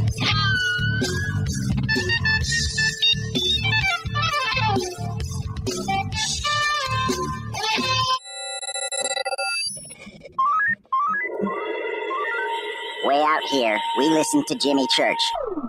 You're listening to Fade to Black. You're listening to Jimmy Church and Fade to Black on the X. ¿Qué tal mis amigos? Yo soy Mario Carson, el tiburón, y los invito para que escuchen a mi buen amigo Jimmy Church Radio. ¡Claro que sí! The Believer is the chilling true story of Dr. John Mack, a renowned Harvard psychiatrist and Pulitzer Prize winner. This is a outreach program from the cosmos to the consciously impaired. He risked it all to investigate human encounters with aliens. The Believer, Alien Encounters, Hard Science, and the Passion of John Mack. Written by award winning former New York Times journalist and author Ralph Blumenthal. Now available in paperback from High Road Books. Introducing the Game Changer blend from River Moon Coffee that delivers a customized blend made specifically for the fader Fadernauts. If the game is rigged, change the game. It's a bolder cup with some bite. Game Changer is the coffee of choice for those that prefer an organic dark roast that is slightly lighter and milder, but it's still dark. With wild notes of pecans and chocolate with a rich, balanced, full bodied cup that is roasted to perfection for a great coffee to start your day as an after dinner coffee or anywhere in between. Artisan, small batch roasted to perfection. USDA certified organic. All River Moon coffee is freshly roasted and packaged in the USA. Just go to rivermooncoffee.com or click on the banners over on our site and use the promo code F2B Blend for 15% off of your order today. rivermooncoffee.com. Do you want to be an official Fadernaut? Of course you do. This is Jimmy Church of Fade to Black. Just go to our membership section at jimmychurchradio.com.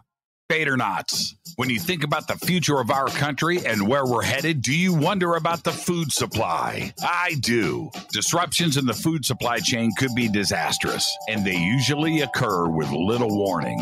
That's why the smartest thing you can do today is to stockpile emergency food, water, and other essentials. I personally recommend My Patriot Supply. They're the nation's largest emergency preparedness company, serving millions of customers for more than a decade. In fact, they're the only source my family trusts for our preparedness plan. You should too. Right now, save 20% off a full four week supply of delicious meals that provide 2,000 calories a day. Saving 20% helps too, doesn't it? Especially now. So go to preparewithjimmy.com and get ready. That's preparewithjimmy.com. There's no time to lose. Do it now. So, you love talk radio? Then you'll love TalkStreamLive.com. TalkStream Live is always on 24 7 with the best streaming talk shows. Find your favorite talkers and discover some new ones. It's free, readily available online or on mobile with any smartphone or tablet. Finding your favorite talk shows all in one place has gotten a whole lot easier. Just go to TalkStreamLive.com. Be sure to download the free apps from Google Play or the iTunes App Store. You listen to us, and we listen to you. And so does the CIA. Hi, I'm Ray Sobbs, and I'm here to tell you about something I really think you're going to like. The Unex Network is a part of a larger group called Unex Media, and one of the things we offer is the quarterly Unex magazine, which is available both in print and digital formats. This amazing magazine covers all aspects of the unexplained and makes for a great coffee table periodical that is certain to spark enlightening conversations in your living rooms. We invite you to check out the latest digital issue for free. Just go to unxnetwork.com forward slash membership and fill out your free membership with your name and email and become a new free member. The new summer issue is now available and the theme is time anomalies, which includes a feature article written by our managing editor, Lee Speigel. Just go to unxnetwork.com forward slash memberships. That's unxnetwork.com forward slash memberships and get your free e copy of the Unex magazine today. You are listening to Fade to Black with Jimmy Church on the Game Changer Network. Oi, oi, I'm Reese Evans. You're listening to Jimmy Church. This is Revolution. The revolution will not be televised. The revolution is on radio. Ciao.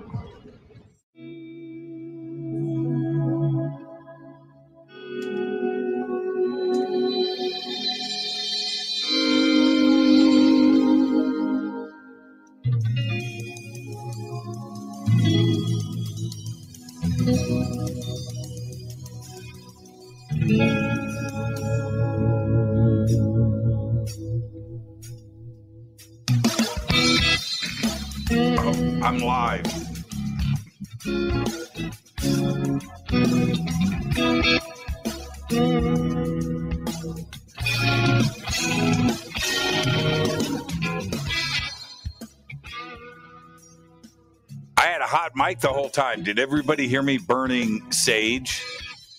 I'm saging. I'm, I've got incense going. I don't want to get in any trouble tonight. And uh, I'm wondering if everybody heard that going on in the background. I'm saging. I'm, just, I'm kidding. Oh, because I want to talk about the True Cross. There were so many missions and and everybody was on the hunt for the true cross. And um, as you know, Tim, over the years, there um, have been many stories, uh, folklore, myth, legend about uh, pieces of the true cross brought into battle, right? And and um, in every instance of that throughout history, those pieces of the cross have disappeared. Don't know if it was the you know what wasn't it Helen that that was you know put a bounty on all of this stuff and and uh, now uh, did the Knights Templar uh, uh, get pieces of the true cross or the true cross itself? You know, I I'm skeptical of that claim to be totally honest. I mean, we I I'm I'm not going to say that that uh, I mean yes there were things that were found that were disseminated to the different cathedrals that were being built. Whether they were actually the true cross or not um, I I don't know. To be totally honest I, I don't know. Uh, I don't okay. I don't think so though. I've heard that if uh, if they took all of the splinters that had been disseminated of all the pieces of the two true cross uh you know that had been labeled in the world and you were to put them all together that it would actually be uh, enough wood to build you know several houses you know? yeah, i've heard the same thing yeah, yeah, i've heard the same thing um uh spear of destiny mm-hmm. Yeah, uh, so Spear of Destiny, uh, the the Holy Lance, that was definitely one of the artifacts that was uh, reclaimed, and uh, you know now there's, eh, you know, anyone looking into history will can find that uh, that lance, the Habsburgs eventually got it, and it wound up in the Habsburg treasure house, and then Adolf Hitler got a hold of it at one point in time, and uh, and by some accounts, uh, a replica of it was put back in the the Habsburg treasure house, and then uh, the the original one was secured by the Americans, and and now it's in a probably in a warehouse somewhere a private collection in, in yeah, the United I've, States. I've, I've heard the same thing that the one that is in Austria now, right in the museum, yeah. is is a replica. Yeah, and the real one um, i think these are pretty pretty good accounts that the real one is here in the united states. Yeah. But not with the knights templar. But not with the knights templar. No we don't we don't have that uh, with us at this time. We have a lot of other really cool things but like like what? Like what? Well so uh, i mentioned the arks uh, accordingly. We also have uh, ossuaries with the bones of certain holy figures that we're hanging on to. Um, well, okay. Well, uh, you just can't get away with without naming names. Ossuaries of whom? Uh, well, uh, what we, they would be referred to as the holy families. So it would be, uh, you know, John the Baptist, Jesus, Mary Magdalene, and their kids uh, that were all buried together in a tomb in East Jerusalem. Uh, the tomb was raided clear back in the 1200s. Eh, the bones were removed and uh, they were secured away and ultimately brought to the New World where they reside in one of our vaults to this day. Um, has there been any testing um, on, you know, DNA uh, on these bones? We have not done any testing of DNA on them. No. Would but, you would you welcome testing? I yeah, I, yeah, I think so. When the time's right, I mean, uh, I have no problem with that. Um, you know, the biggest hurdle, you know, I think one of the one of the biggest hurdles that we're trying to get over with all of this is that uh, we're not trying to invalidate anybody's beliefs. Uh, we're just trying to say that there might be a little bit more to the story than what people have been, you know, the pill they've been sold, like, or whatever, however you want to put that. And that, um, you know, for a number of Christians, they, they believe that you know Jesus bodily raised from the dead and went to heaven, and to find bones of Jesus kind of contradicts that narrative, which is which could be a problem if you're just interpreting it literally that he literally bodily went to heaven. Um, some of the texts that we've continued to pass down tend to suggest more along the lines of, uh, you know, heaven was a state of consciousness, and uh, and that to be born again literally meant to be born again. It was it was reincarnation, and uh, so there was reincarnation in the early doctrines of the of the church which are within the christianity which um you know is not being currently taught today but it, it doesn't if you look at it from that perspective it, it doesn't it shouldn't be a problem if there's bones of jesus. Because it doesn't mean he's he's gone. It doesn't mean he's dead. It just means he's you know went on to a new form. And so the ossuaries, uh, I'm, I'm very interested in this. And for those that may not understand, in these tombs, the ossuaries um, were small stone boxes, and that that contained the bones of the person, the deceased, and they were stored uh, some on shelves, right, uh, stone shelves, and and uh, uh, what's the words uh, that I want to use um, when you have an opening, and then you would uh, put the boxes there, seal the tomb. Yep. And and this went. Uh, this was part of the tradition in in uh, very early Jerusalem, Yeah. um, and that this one tomb um, had the family of Jesus there and and others. So these stone boxes were removed and then brought here to the Americas. Yeah, ultimately, yeah. The, well, not all the boxes were removed, but definitely the contents of the boxes were removed and brought here to the Americas. Yeah, where they reside to this day. Now, I envision, and we're going to continue, uh, but I envision like a press conference, right? What do you do? Right? Yeah. Okay, so here's here's an ark. Here's an ossuary with Joseph and Jesus. Yeah. And and over here we've got a container of of manna that powered the ark. I, and is that is that how this is going to be done? I think that'll yes, that'll be that'll be kind of how it'll be.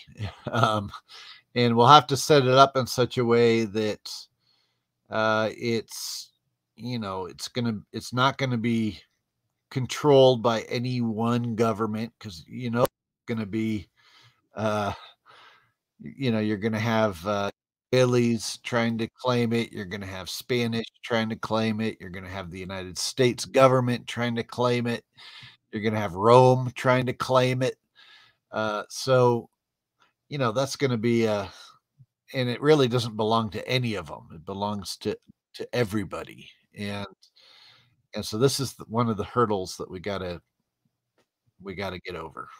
Okay, so Friday the 13th goes down and and the ship uh, there was knowledge of what was about to happen and the orders that were uh, done uh, and instituted by Philip the Fair and the ships are loaded up and and head out. Yep. Uh, was it just to the Americas or did they go to other countries as well? No, they went to other countries as well. I mean, initially they went uh, up to Portugal and to uh, Scotland, uh, you know, as I mentioned. Uh, but then they went the Americas. They went across the way to the Americas. They had already been trading silver with the Mayans uh, for for you know a hundred years uh, prior to that. So there there was and and they were already working with other tribes and and honestly this is really the reason why Christopher Columbus flew the Templar cross on his ships when he went over to the New World is because he knew that they would uh, they would recognize it. Uh, you know, Christopher Columbus himself was not a Templar, but he uh, he had uh, pulled one of the grand masters of the of the Knights Templar. His his daughter was in a convent, and he pulled her out of the convent and married her, and was able to secure the the the maps from her, some of the maps from her. He went to Portugal and said, "Hey, fund me to go over to the New World. I, I know there's land across the way." And and basically, Portugal was like, "Well, you know, screw you. We already know that there's land over there because they were already protecting the Templars when they went underground." And so Christopher Columbus was like, "Well, fine. If you're not going to support me, then I'm going to go to your enemies." So that's how he went to Spain, who ended up funding him to to to go to come to the the quote unquote new world that the Templars had already been exploring. And once you know this, it, it kind of explains why uh, the the Spanish and the Roman Church went to such pains to try to uh, persecute the indigenous populations in the Americas because they were looking for these artifacts. They knew they had been brought over here, they just didn't know where they were. The the documentation uh, that the Templars must have uh, done, not only with the trips uh, that they made over here, but the inventory, the maps, the dates, this has to exist. Do the Knights Templar have uh, this documentation today? Yeah, we have uh, the ship logs of of the trips over, and then the, there's a number of archaeological sites ar- around the New World um, that uh, and, and markers that had been left by the order uh, back in time. Uh, you know, Scott Wolter's done an incredible job trying to track these down. Uh, Got to put props out to him uh, Sure. in his his research he's been doing with that. Um, uh, yeah, I mean, and and there are tribes that exist to this day who retain the memory of their association with uh, Templars in in times past, and we continue to have those associations to this day. Have you seen uh, uh, Scott's stuff? And he, he- he's hinging on every word, by the way, right? He's like, "Go team." Um, is, is is one thing, but have have you seen the documentation as you know the Grand Master of the Knights Templar? Have you seen these documents? And this is part of any press conference, right? That you're going to, somebody's going to ask, okay, well, where is the documentation to represent this? Have you seen the documentation that the Knights Templar is in possession of? And will this be shown uh, to the world? It will, yeah. All all of this will be revealed. I mean, that's that's the plan is to just get all of this out with the hopes of bringing us together as a world community, uh, where we not in a not like in a one world new world order type of way in which you have some government trying to control everybody, but more uh, you know, getting us it's, it's a reset back to you know recognizing the humanity in in all of us and we're all inheritors of this tradition so How many? Um, okay. Again, I'm not being cavalier. This is like a serious question.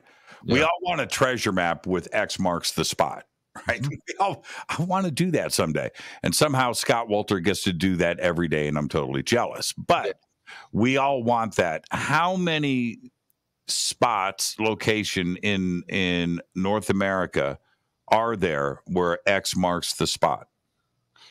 Well i mean there's a number i mean at one point in time there were uh seven vaults and uh some of those vaults had been some of the um some of the treasures and some of those vaults were actually used to fund things like the American Revolutionary War. Uh, my my great grandfather, seven generations back, was General Joseph Warren, who was uh, the Grand Master of the Knights Templar back then, and he was the father of the American Revolutionary War. He initiated Paul Revere uh, to kind of give you an idea, and uh, and uh, there there was uh, some of this treasure was used to fund the Revolutionary War in order to try to create a free country where there was freedom of speech and freedom of assembly and freedom of religion and, and all these things that we take for granted, uh, in which it was believed that uh, our rights came from God, not from the king, not from the church, but from God and or the creator, whatever you want to call it. Um, in fact, you know, one of the earliest texts that mentions, in fact, the earliest text that mentions that uh, people have rights, you know, that does that comes from God is the story Parsifal. In fact, the story Parsifal says, if any Templar should become ruler of a foreign people, let him ensure that they are given their God-given rights.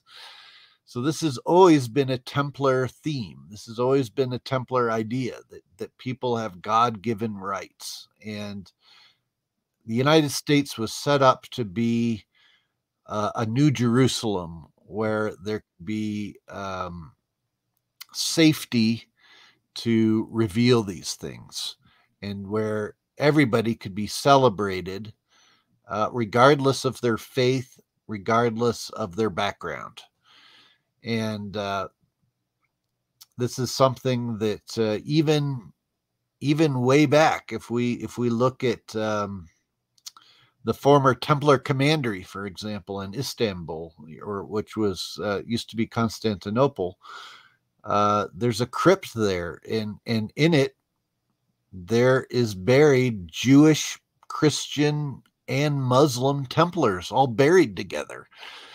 Uh, so this was something that, I mean, you don't even see in most cemeteries today. They separate people based on religion. Right. But uh, with, as far as Templars were concerned, you know, we're all we're all uh, just uh, expressing, you know, the almost the the cultural trappings of the same truths. Now, you mentioned that uh, the some of these artifacts here in the Americas at the seven vaults in these locations uh, were used to fund the Revolutionary War. That Yeah. means they went into private hands. Mhm. Do we have records of who they were sold to? Yeah, I mean there were there were people like Benjamin Franklin that were involved in those transactions. Mm. Um, James Madison uh, uh, and others. Uh, you, you know, when you think of the a lot of the founding fathers, they were a number of them were involved in this same secret and this same mission. And uh, Thomas Jefferson, and they were they were trying to both preserve what had been inherited while also uh, trying to uh, you know having to use some of it in order to create a free state Now, before we get to the break, when you describe uh, these seven locations as vaults, are they actual vaults that were constructed um, or uh, you know built? You know, a vault as as we picture a vault, or are they uh, natural locations, caves, if you will?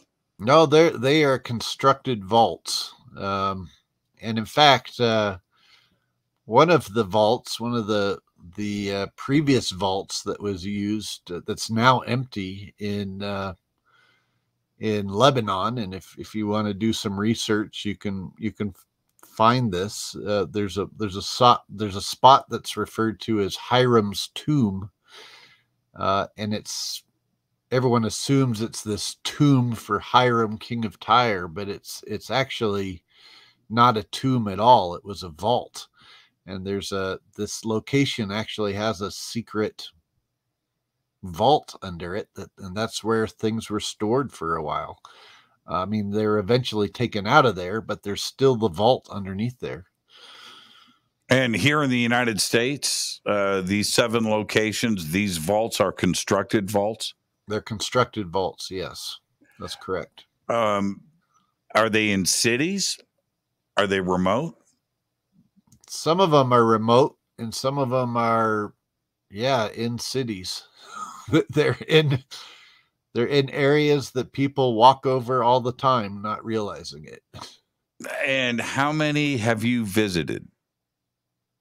Well, I visited three of them. Well, I take that back. I visited four of them personally. Right. And, Um, and we and we have people that watch over them. Of, of course you do. Of Yeah, course you do. Um, and the four that you have been to, I'm going to get the info out of you, Tim. My job. Um, Fair enough.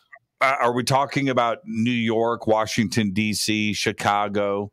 Uh, are Um, we talking about major cities like that underneath a Freemason temple in in in Manhattan? Yeah, I mean, I, I I can't quite. I don't. I don't want to quite get into that yet, but um, we'll be revealing it soon. It won't be long.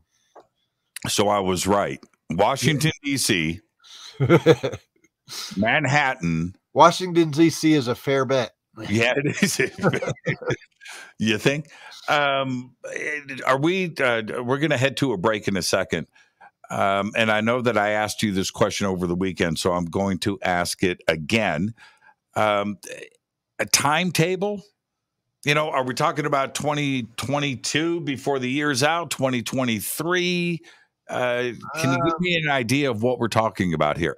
I've also asked Scott Wolter these same questions, and I've been putting the pressure on him for years. Um, but once these dominoes start to fall, uh, you just got to go for it. You won't be able to stop. So, what Yeah. kind of timetable? I mean, some of it's some of it's timing with what's happening in the world. I mean, originally we were looking at revealing some of this stuff clear back in 2019, and then uh, COVID happened, and uh, Really? and the whole world started changing by you know 2020, and it just was not the right time or place for it. So, but it it, it won't be long.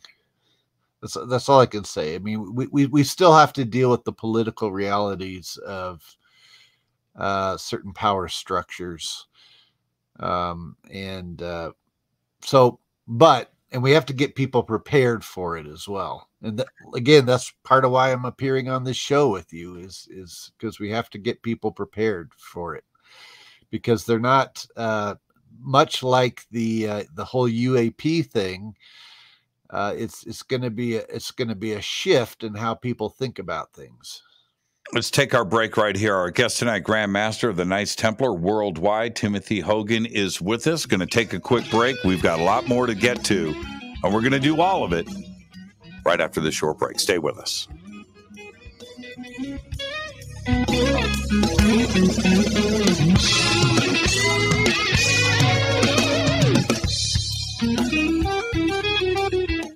Hi, everybody. This is Rob Halford, the Metal Guard on JimmyChurchRadio.com.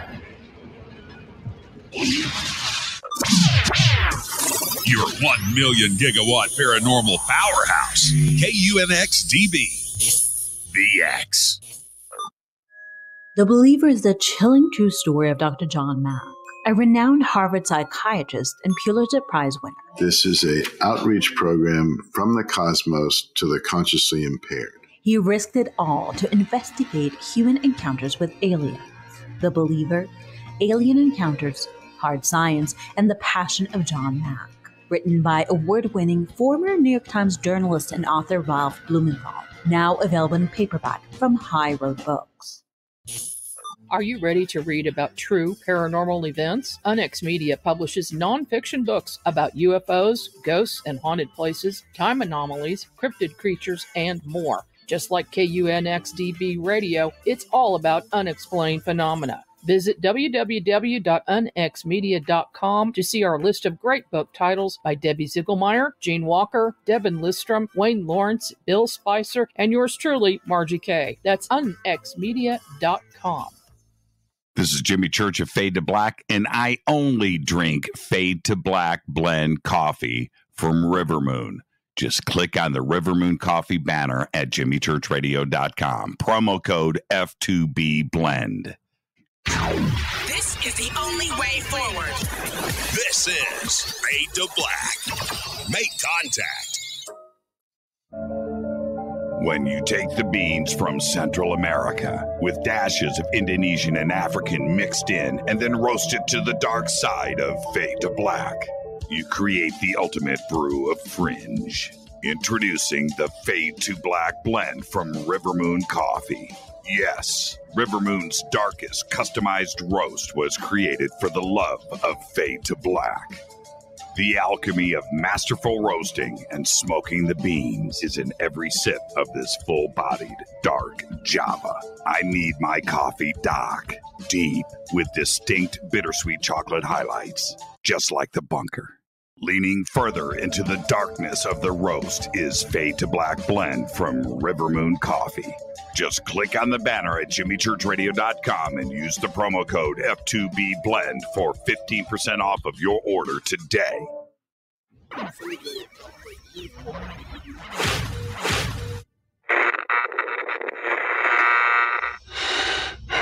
You want to know a secret? I love ponies. I really love ponies. I'm serious. I couldn't stay sane without ponies to brush. Why fade to black? Because you never got that pony. Damn it. This is Fade to Black with Jimmy Church on the Game Changer Radio Network.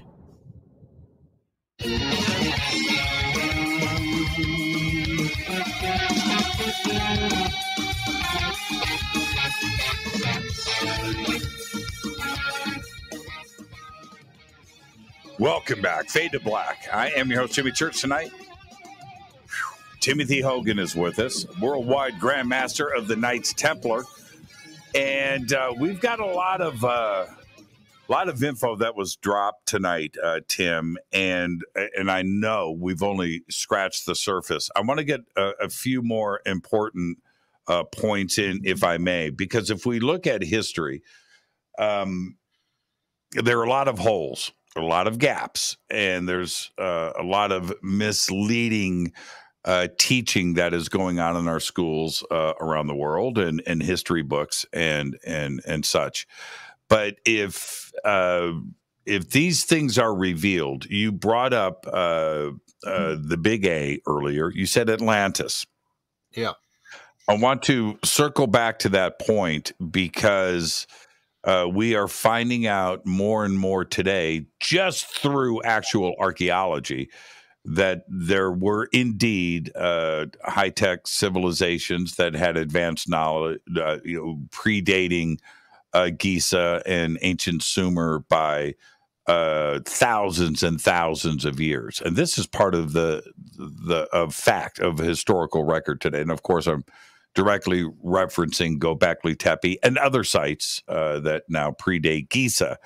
Um, but if some of this information is in possession of the Knights Templar, and you know, using a word like Atlantis that you can't speak in mainstream academia, you can't say that word. Um, this is going to upset quite a few people when you say Atlantis, what are you trying to refer to with the knowledge that the Knights Templar is in possession of?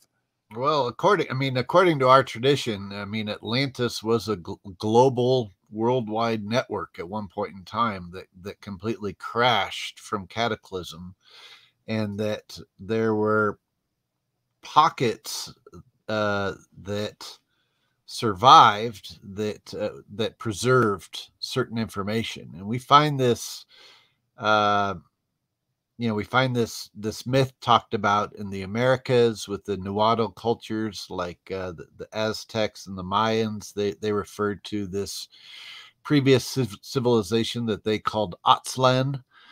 Uh, well it's not too you know that was destroyed through cataclysm and and uh, and you know it sunk beneath the waves uh, you know it's not too much of a stretch from to, from Aztlan to be similar to Atlantis that that uh, Plato talked about, and uh, there are texts, for example, in Egypt at the Edfu building texts that also allude to this uh, this cataclysm that had occurred, you know, prior to the the Zep Tepi, the time the time before the pharaohs ruled Egypt.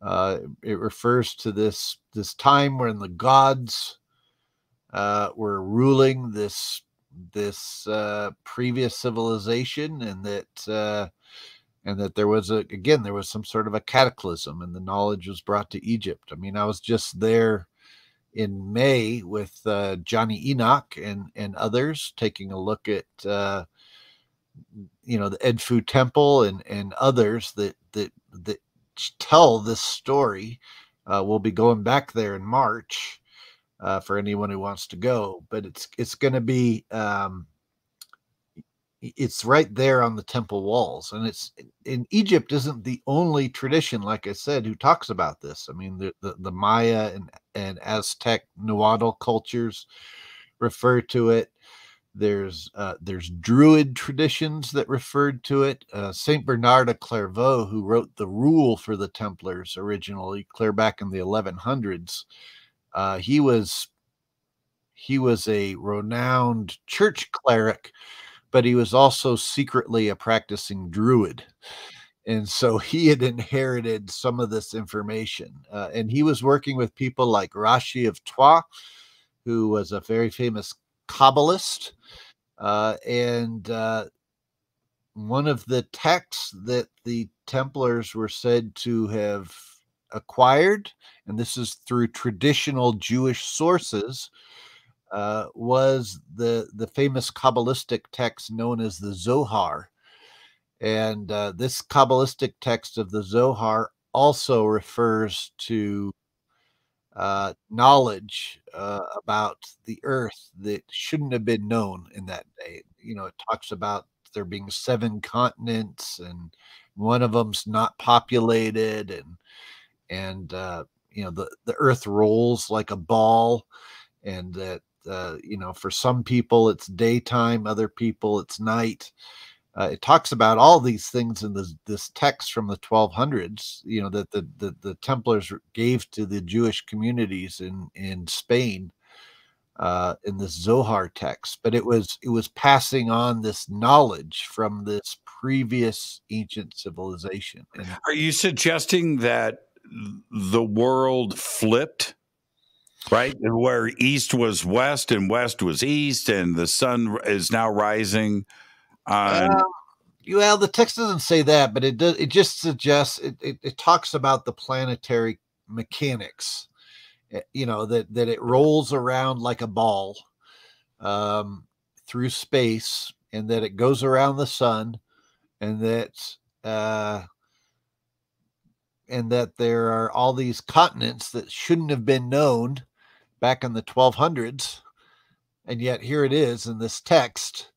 And it's clearly because there was information being passed down. There were also maps that had been found by the Templars uh, in in their association with different groups. Uh, you know, there were there were Celtic traditions that had been coming over to the New World. There were Vikings that had come over to the New World. There were by some accounts there were even Greeks and Romans that had come over to the New World, as well as Egyptians. So and Sumerians. So there were there and Phoenicians. So there were all these people that had been coming over to the New World and they had records of of what was over here. And the Templars just collected all of this and you know we're basically like, well, let's go let's go see if it's true. And and sure enough, they they found their way to the New World long um, before Columbus. Uh, what? Where was Atlantis? Oh, okay, and and before you answer, um, I'm actually preloading a conversation that we had over the weekend, but this is very interesting to me. Um, and and to that end, um, are you uh, the Knights Templar today? in possession of maps that show where Atlantis was? Uh, you know, according to our our traditions, again, Atlantis was more of a global network. I mean, it was parts of it were in North America, parts of it were uh, in the middle of the Atlantic, parts of it were in Antarctica. Uh, and parts of it were in Europe. Uh, it was basically on all sides of the Atlantic. There was this this uh, civilization that was flourishing for a while, and, and then it collapsed. Now that there are some who have suggested that even that that civilization was a a uh, a replica, if you will, of a of another civilization that was wasn't even on this planet. But that's a whole nother conversation. But uh, uh, okay, uh, excuse me. yeah, there there was a, there was a there was a belief that what was set up in the ancient world, uh, what we now call Atlantis, was simply a uh, a replica or a model of a previous, uh, an already existing civilization that was on another world. And that the beings from that world came down to this world, set up the civilization with all of its technology and everything else.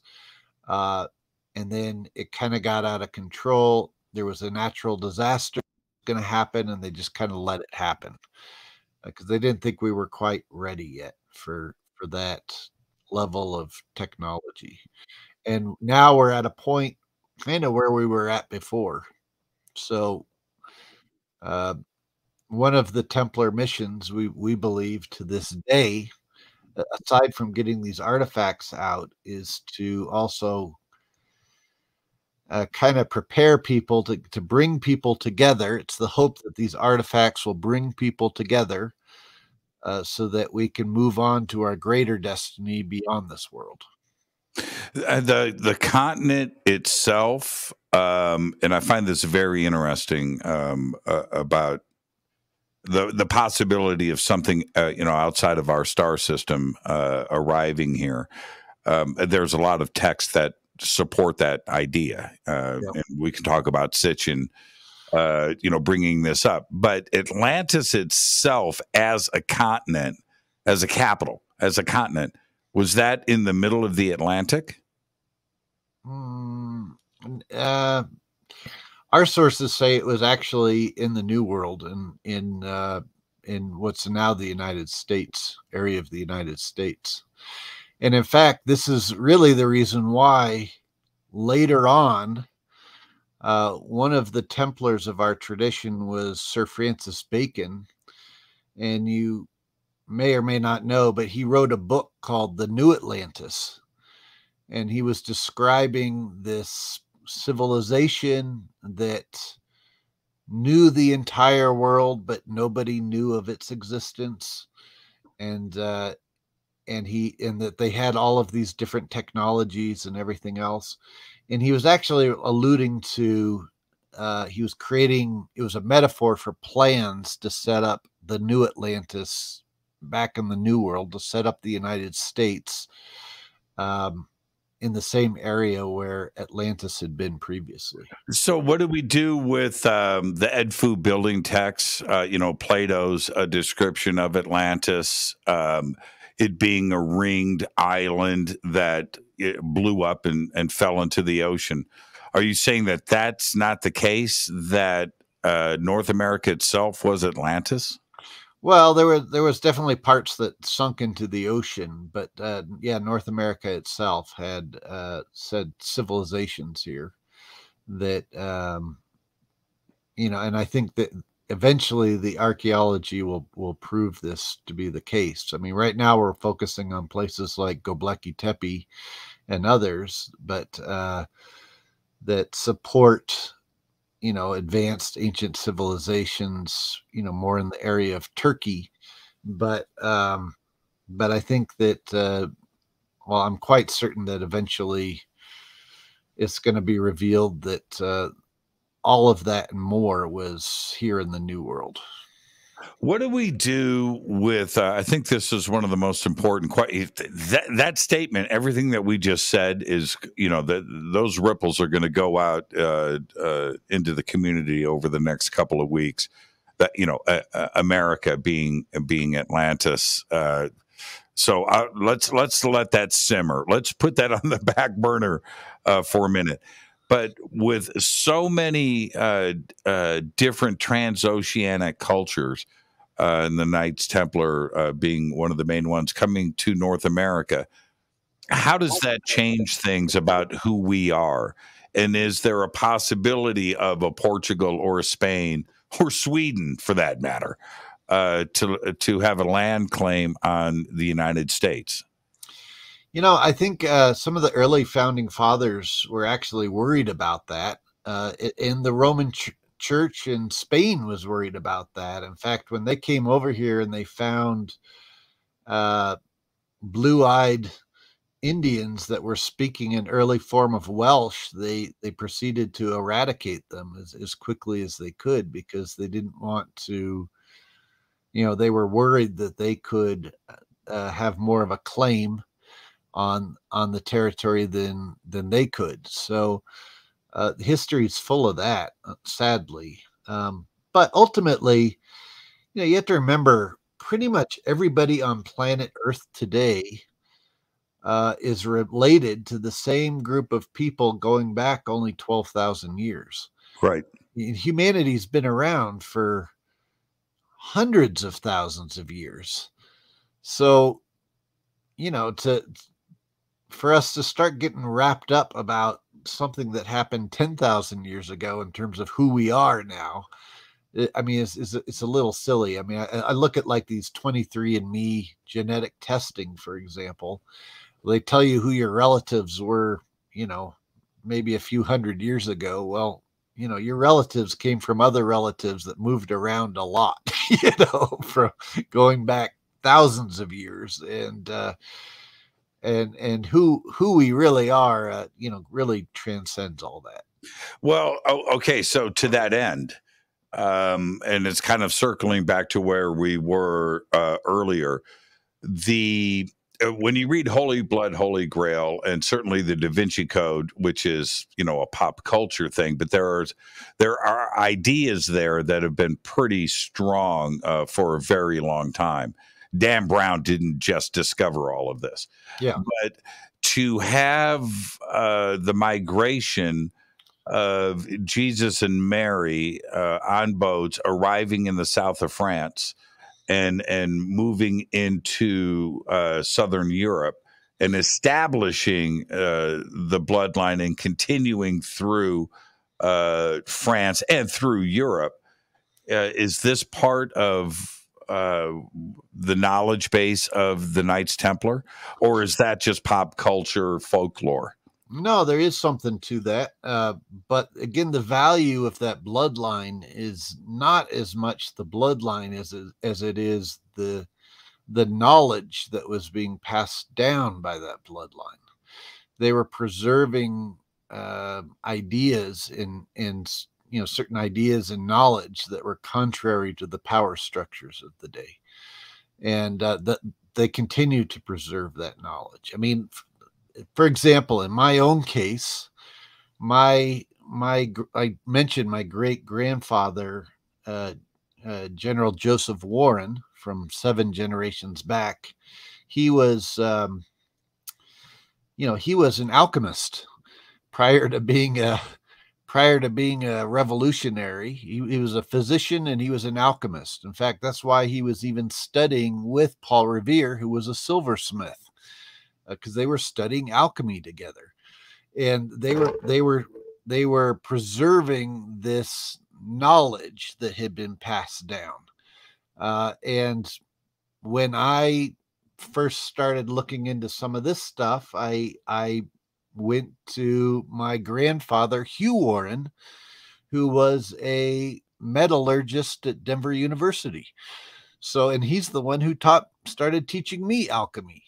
So that's an example of this knowledge being passed down within family lines.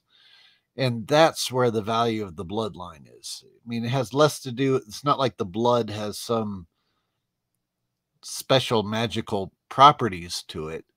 It, it has to do with the knowledge that's being passed down through that through that line, those lines the um, uh, the other part to this, if if all of this is true, um, where you have billions of Christians and and Catholics on this planet, uh, a huge control um, and uh, uh, there would be a power vacuum. I would I would suggest that if this is established as fact, then uh, for three and a half billion people on this planet, they've been living or taught a lie. Well, they've been taught uh, a half truth. There's A a, half-truth, there's, there's a great there's a great quote by Louis Claude de Saint Martin, who was a French philosopher in the 1700s, and he said, uh, "The great misfortune of man is not that he's unaware of truth, but that he misconstrues its nature." And that's what we're talking about. Like people are aware of a story, they're aware of a um, a tradition. They just might be interpreting it wrong. Th- that's Ed. Uh, I'm I'm so glad I burned the sage uh, because because if I'm wrong, but uh, if you're wrong, uh, but here's the thing though.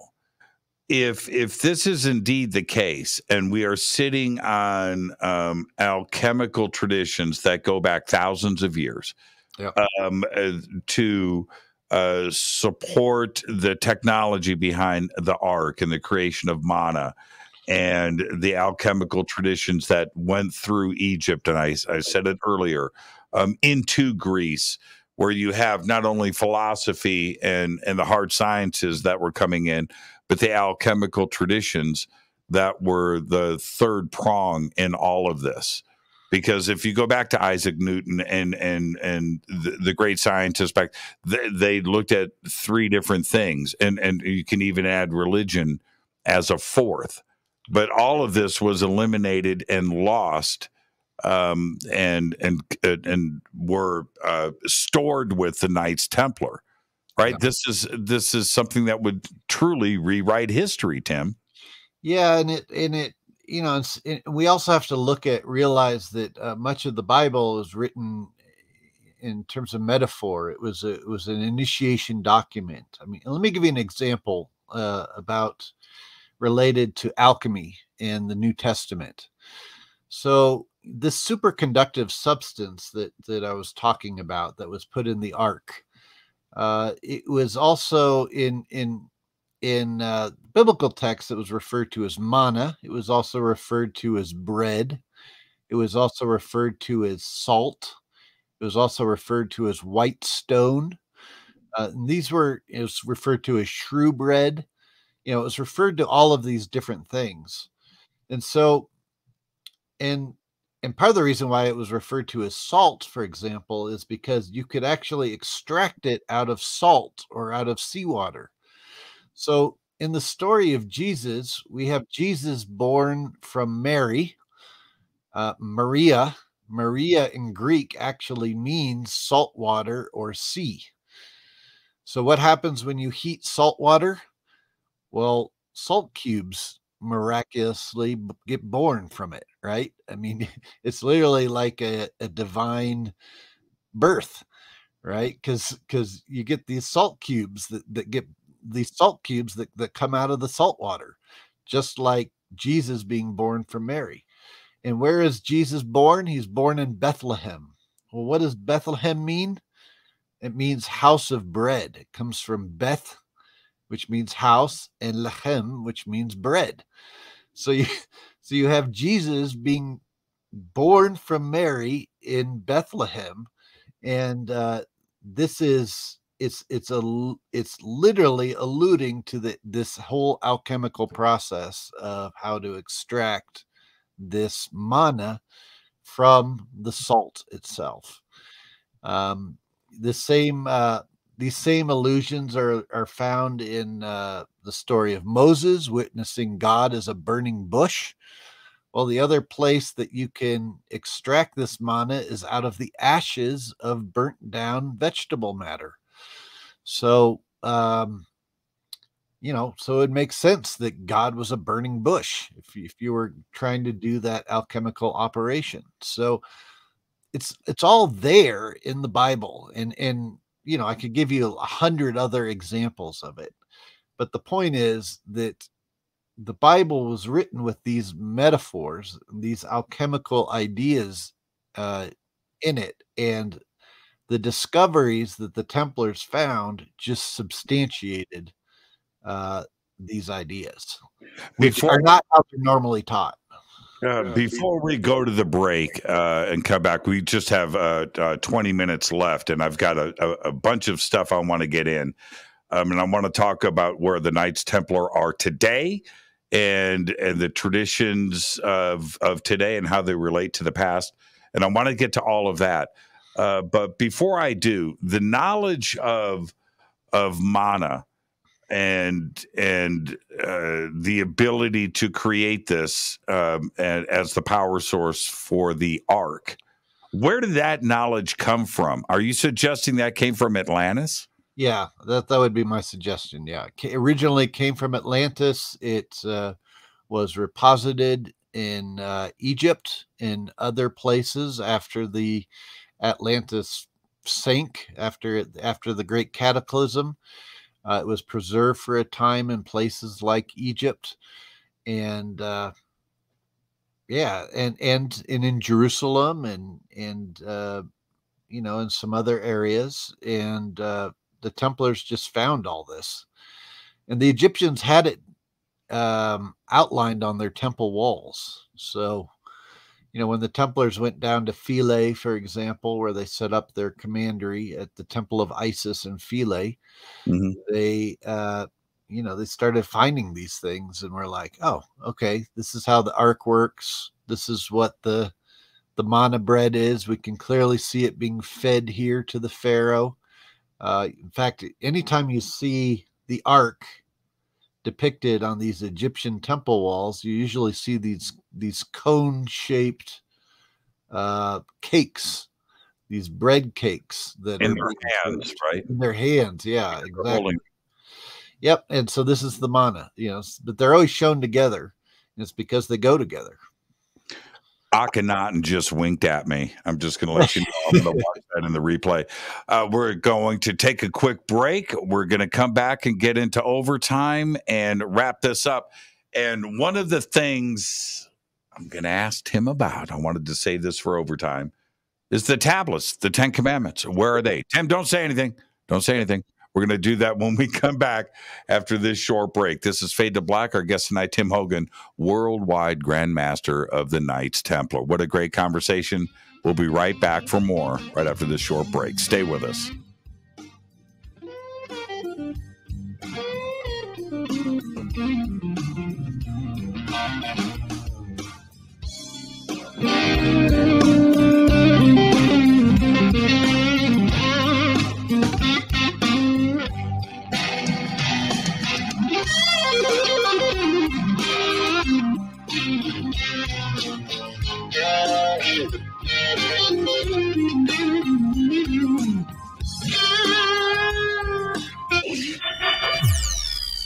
You're listening to Jimmy Church and Fade to Black on the X.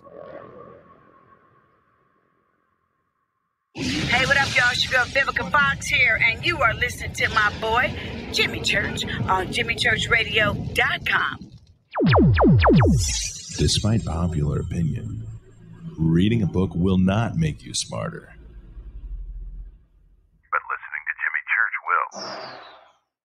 Hello, Fadernauts. Jimmy Church here. You've seen me with my thunderstorm. Now you can purify the air in your home and get healthy, clean, fresh smelling air and eliminate odors just like I do right here in the bunker. The EdenPure Thunderstorm uses oxy technology that naturally sends out O3 molecules into the air, which seek out odors and air pollutants in your home and destroys them. It's called a thunderstorm because it purifies the air just like after a thunderstorm. And right now, you can save $200 on an EdenPure Thunderstorm 3 pack for whole home protection. With this special offer, you're getting three units for under $200.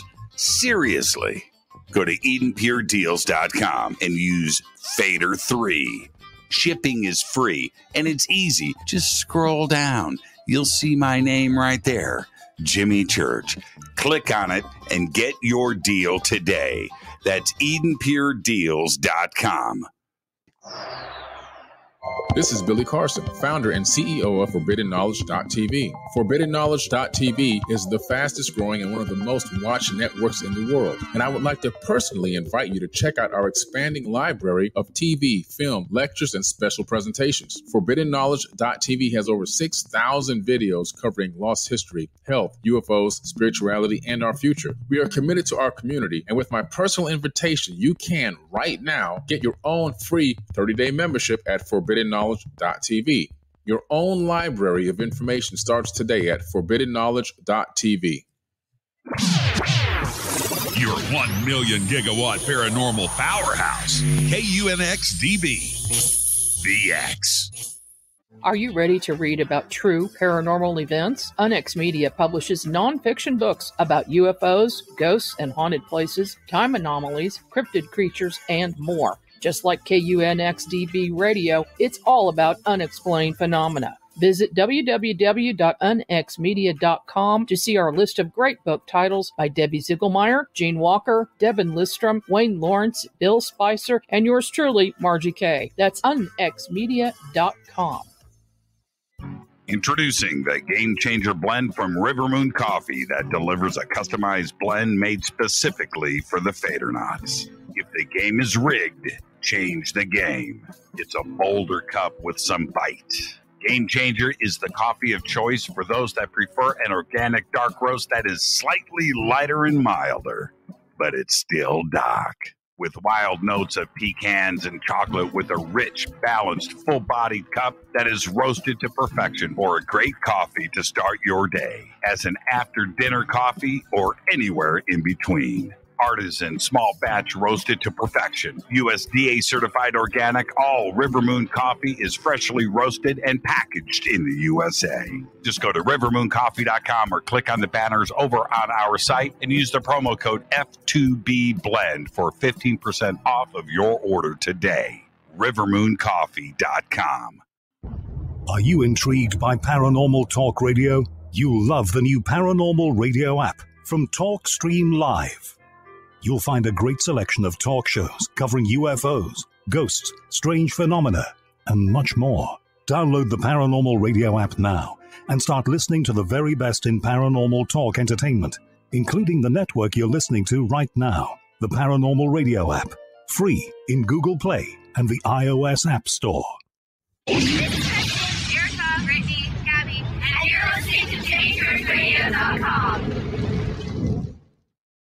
It's not a lifestyle we chose. We were born this way.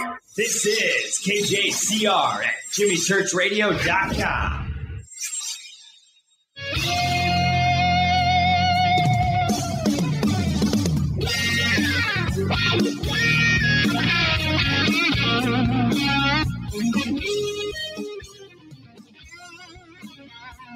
Welcome back. Fade to Black. I am your host, Jimmy Church. An amazing conversation tonight. We're not quite done.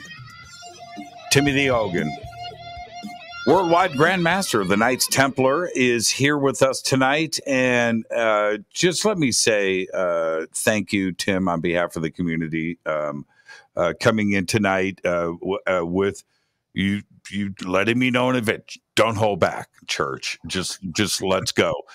And um, and and I feel like I've, I've I've got 50 questions that I didn't get to, and and we will do future shows. Let's do you know a, a show on alchemy. Let's do a you know a show on on artifacts. We- We'll we'll stay. Uh, I, I also want to focus on traditions. And uh, now I've got a couple of things that uh, I held back uh, for overtime. And, and overtime, I like to loosen up a little bit. Uh, these are very serious subjects tonight, uh, but I like to loosen up a little bit when we do get to overtime. Um, and but I do want to talk about the Ten Commandments. Um, and and where are they? Are you in possession of them? The the tablets that were allegedly, I shouldn't say that. I burn the incense. I think I'm in the clear. uh, placed in the ark. Uh, uh, what can you tell me about that? And uh, where are they? Well, so if you go back and read your Bible, it talks about how uh, Moses, when he came down from the uh, from the mountain, he had uh, a, an initial set of tablets known as the Tablet of Testimony. And he decided that they weren't ready for this yet. So he broke it and he didn't give it to the to them. But then he also had another set of tablets which uh, were had the the commandments on them, and he did give that to the people. Um, according to our records, there are some different tablets uh, that are in the vaults. Uh, one is uh, could be associated with the Ten Commandments. It's written in Phoenician, and uh, it seems to be the the Ten Commandments. The other t- tablet, which is referred to as the Tablet of Testimony, uh, is actually uh, the uh, what we believe is the Emerald Tablet, which came to be known as the Emerald Tablet of Hermes.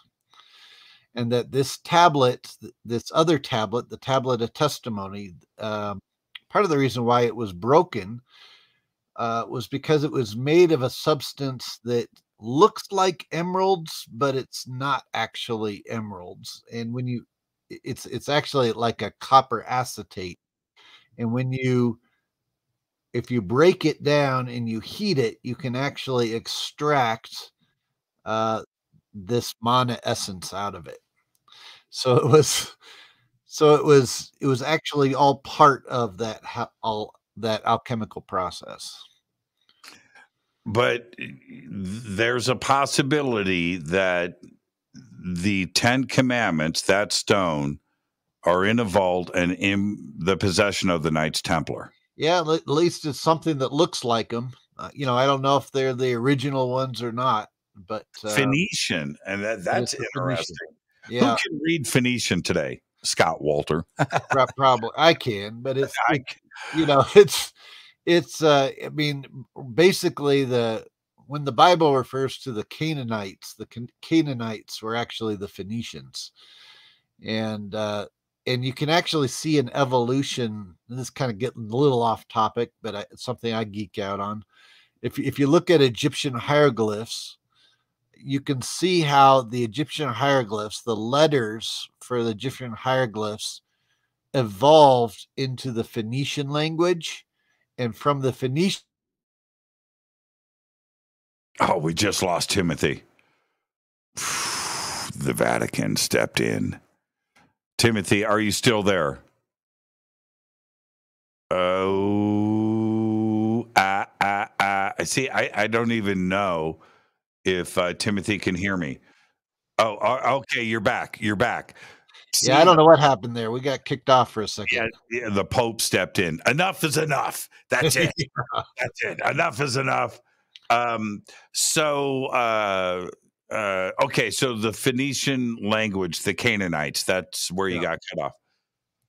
Yeah, so so that then that so that you can see how that Phoenician language then evolved into Hebrew. So you can see how it went from Egyptian hieroglyph to Phoenician characters to Hebrew. I mean, you can clearly see that progression, and uh, if I, I, would encourage anyone who's who's interested in looking more into the Phoenicians, uh, and particularly the connection between the Phoenician stuff and Jesus to check out the book uh, Jesus the Phoenician by Karim El-Koussa, who's a who's a you know a dear friend of mine. I wrote the foreword uh, for uh, one of his books, and uh, anyhow, he has he has really good stuff. Okay, the hooked X. Yeah. Okay, Scott Wolter just leaned forward. um, the hooked X, Templar. Yes. Yeah, that's definitely a symbol that we use, the hooked X for sure. In fact, I I use it in my signature to this day. Uh, as Grandmaster, that's one of the things I I have in my signature that I use.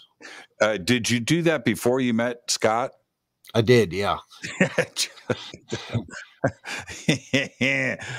um, if I today, uh, what what would it take for me uh, to join the Knights Templar?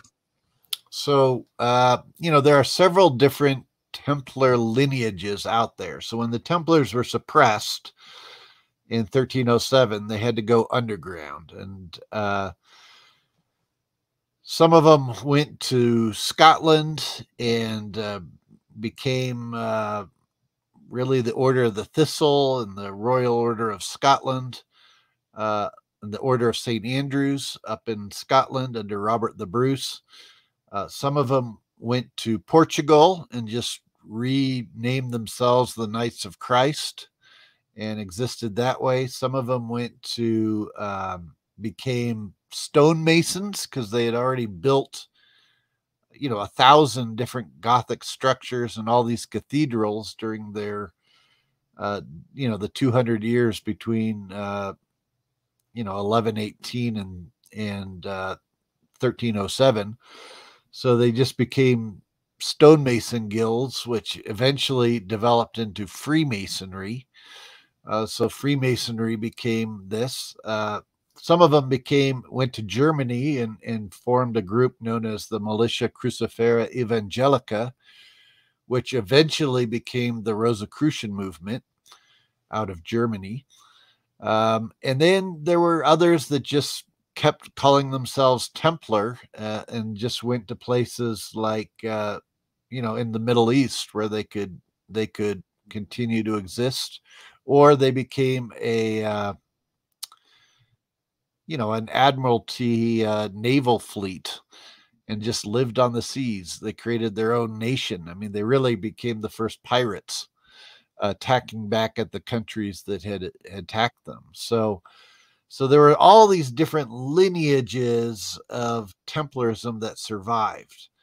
Uh, eventually, with time, they they began to start to work together again and do different things together again. And so now, what we do for anyone who's interested in uh, pursuing this path, they could certainly go to any one of these different traditions. I mean, they could go become a Freemason or a or a Rosicrucian or or you know any any of these other bodies. Um, one of the ways uh, to move forward is we also set up a school known as the Templar Collegia.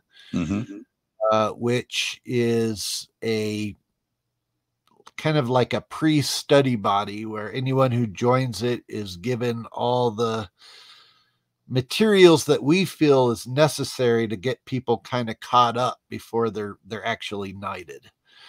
And uh you know so we take them through a series of initiations and we give them study materials and uh, over the space of a couple years if they stick with it then uh, eventually we'll knight them as a templar and uh, they can start to participate in the work that we're doing. Are there are there levels? You know we always you know third degree mason you know and i became a third degree mason. That was the toughest part for me to go through and i got to that and then i had different uh, avenues in front of me uh, that i could choose and one of them is the Knights Templar. Am, am I correct in stating it that way? Yeah, sure. Yeah, there's uh, like in Freemasonry, there's the York Rite or the Scottish Rite, or if you live in you know many Germanic speaking countries, uh, there's also the Swedish Rite. Uh, but all of these are higher degrees of Freemasonry, and in all of them, they all culminate uh, to a Templar degree. Uh, in, in, the York Rite, it, it, culminates to a Knight Templar degree. In the Scottish Rite, it culminates into what's known as a Knight Kadosh degree, which is just means Holy Knight, which is a Knight Templar.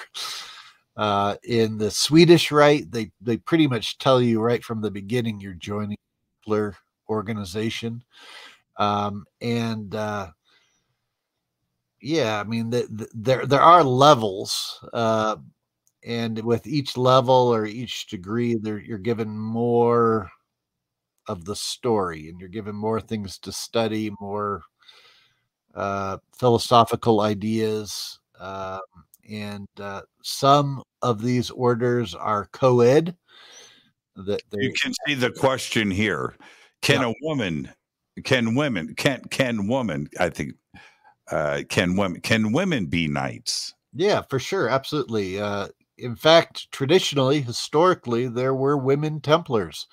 In fact, even Hugh de Payens, who was the first Grand Master of the Knights Templar, his wife was Catherine de St. Clair, and she was also a Templar.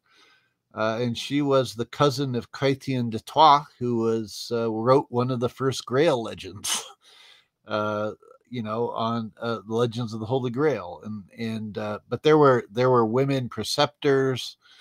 Uh, there were, you know, they weren't just in the kitchen; they were they were actually participating with all of the activities, and that continues to this day. I mean, uh, certainly, if if you were to join the Templar Collegia. Uh, there are men and women who are involved in it. Uh, same with uh, other e- expressions of it, like you know, different Rosicrucian and Martinist and and unknown philosopher lineages. They they allow women in it. Uh, there are there are co-Masonic bodies, and there are also women only Freemasonry. So absolutely, women could be involved in it. Uh, at what point? This this is what everybody wants to know. At what point do I get into the back room? well, I mean, uh, you know, pr- pretty pretty soon. I mean, it, No, I mean, if I become a Knights Templar, right? Yeah. When when does Tim go? Okay, church. Now you want to see some cool stuff? oh, pretty much right away. Uh, I mean, right away you'll start studying stuff that'll blow your mind away. Uh, and then you know we there it's all designed to be practical so that uh, like if we, we if we talk about alchemy we're not just talking about alchemical theory we're actually teaching you how to perform alchemical operations. Um same with uh you know a, a number of a number of things in the curriculum so. And and go ahead. eventually eventually you learn about where some of these vaults are and we do have a responsibility still to protect them. I mean if if god forbid uh you know the wrong people like uh, something like uh, al qaeda or something were to were to try to try to raid one of these vaults or the vatican which the vatican has has absolutely tried to raid some of these vaults. In fact even recently the, the vatican tried to raid one of the vaults um, we have to go in and uh, deal with it. Um, and and some of that may be mean moving some of the artifacts to a new location. Uh, what was the? I want to go back to Dan Brown. Who was the dude that was white? Uh, What was the name of the organization that he represented with the Oh, Vatican? he he was he was with um, he was with uh, I, I'm drawing a blank. how, how, how did we forget that so quick? Yeah, yeah, Popular story on planet Earth for five years. yeah. um, I, I, uh, keep, I keep wanting to say Agnus Dei, but uh, it's Oh, Agnus Dei means the Lamb Day. of God. Yeah, Opus Dei. It was Opus, Opus Dei. Day. Opus yeah, Day. Opus Dei. Yeah, you were close. You were close. Yeah, Yeah, yeah, Opus Dei. Um, that that has to be a concern, right? It, it is. It absolutely is. In fact, uh, I, I can tell you right now, uh, only a few years ago, there, there is a vault that still exists in Istanbul, and uh, we have Templars who are uh, with in charge of the um, you know the monuments there in in Istanbul, and they work for the the the Turkish government, and uh, they ended up hearing uh, jackhammers basically coming from under the street level and they knew somebody was trying to break into these vaults and sure enough they discovered uh, that the vatican had dug a tunnel from one of the hotels nearby. They'd found where the this vault was and had where there's uh, certain artifacts and they had were trying to break into the vault. And fortunately the stone that the vault con- containing the stall the the the artifacts was a really hard stone that's referred to as Zeus stone because it's so hard to break into and so they weren't able to they weren't able to break through to it but uh, you know this type of thing still happens to this day and in fact i i would even suggest, um, and this is somewhat speculation on my part, but I think it's a safe speculation.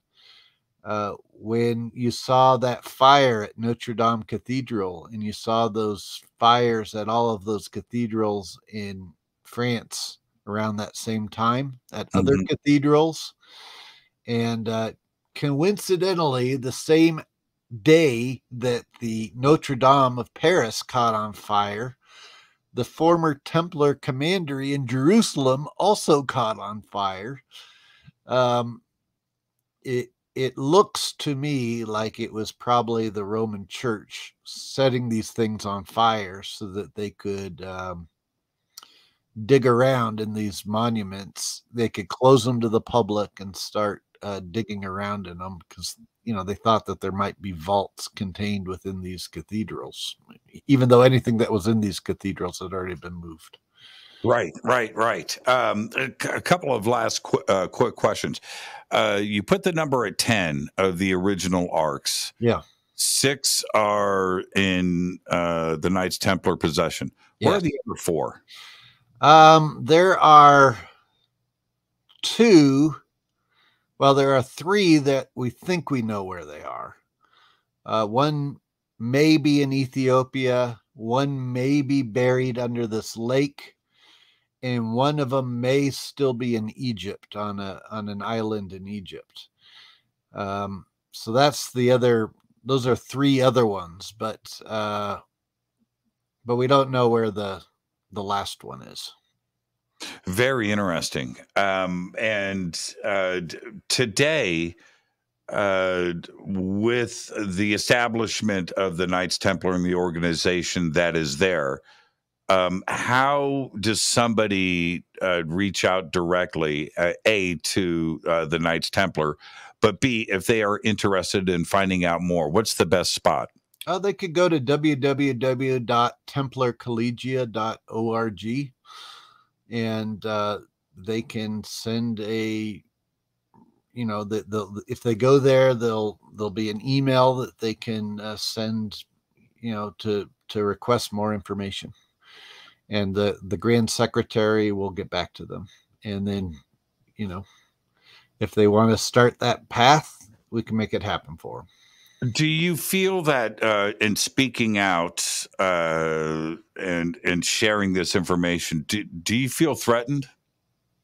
there have been times yeah. Uh I, I i'll i'll admit i mean i've been uh i've encountered some pretty rough times uh in the past uh it- i've been shot at i've been stabbed and i've been poisoned at different times in the past uh uh and in fact uh not too long ago, I, I- was even attacked. I was at the area of Baalbek in, in Lebanon, and uh, uh, we were we were attacked there. So, um, yeah, I mean, there've been times where it's uh, it, it, it can be challenging for sure. There, there there are all kinds of groups that that don't want this information out. Well, I appreciate this conversation tonight, Tim. It was great, and um, uh, I'm just going to let everybody know we were able to break bread and and and hang out and and have a, an amazing uh, dinner uh, over this weekend. And wow, I mean, uh, we had a lot of we had a lot of powerful minds at that table, didn't we? And we sure did. conversation uh, that went around, but uh, everybody just wanted to talk to you. And, and we're talking about some pretty strong people were at that table, and and and I got to say that uh, you you you were and have been uh, very open about these subjects that uh, just don't just haven't been openly discussed in the past. And I, I really want to thank you tonight. And it was just an amazing, amazing conversation. Thank you so much. And I can't wait for the next one. Well, thank you. I can't wait for it too. It's it'll be it'll be the Tim and Jimmy show. Thank you so much, Tim. I want you to be safe out there. Keep rolling that rock uphill. Uh, the world is in a very strange place right now. We all know that. And we do need to be brought together. And just thank you for that. Yeah, thank you. Tim, behave and be well. You too. Thank you so much for having me. You're the best, Timothy Hogan. And with that, I'm going to get out of here.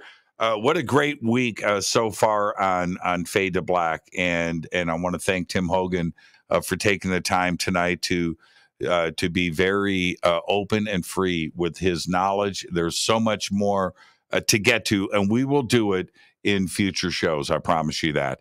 And uh, tomorrow night, uh, Rick Doty is going to be here. Rick is is also going to be talking about some pretty sensitive subjects, which is misinformation and disinformation that may be going on right now in our UFO community and ufology in general. Great week on Fade to Black. Thursday night's going to be another Fader night with open lines all night long. Fade to Black is produced by Hilton J. Palm, Renee, Dennis, and Kevin. Announcers are Steve Harder, Gene Vitola, Mark D. Kovar. Webmaster is Drew the Geek. Music, Doug Aldrich. Intro, Spaceboys, spaceboymusic.com. Fade to Black is produced by KJCR for the Game Changer Network, and this broadcast is owned and copyrighted 2022 by Fade to Black and the Game Changer Network, Inc. It cannot be rebroadcast, downloaded, copied, or used anywhere in the known universe without written permission from Fade to Black of the Game Changer Network. I'm your host, Jimmy Church. Until tomorrow night with Rick Doty, I want everybody to be safe. Go back, Lee Tappy.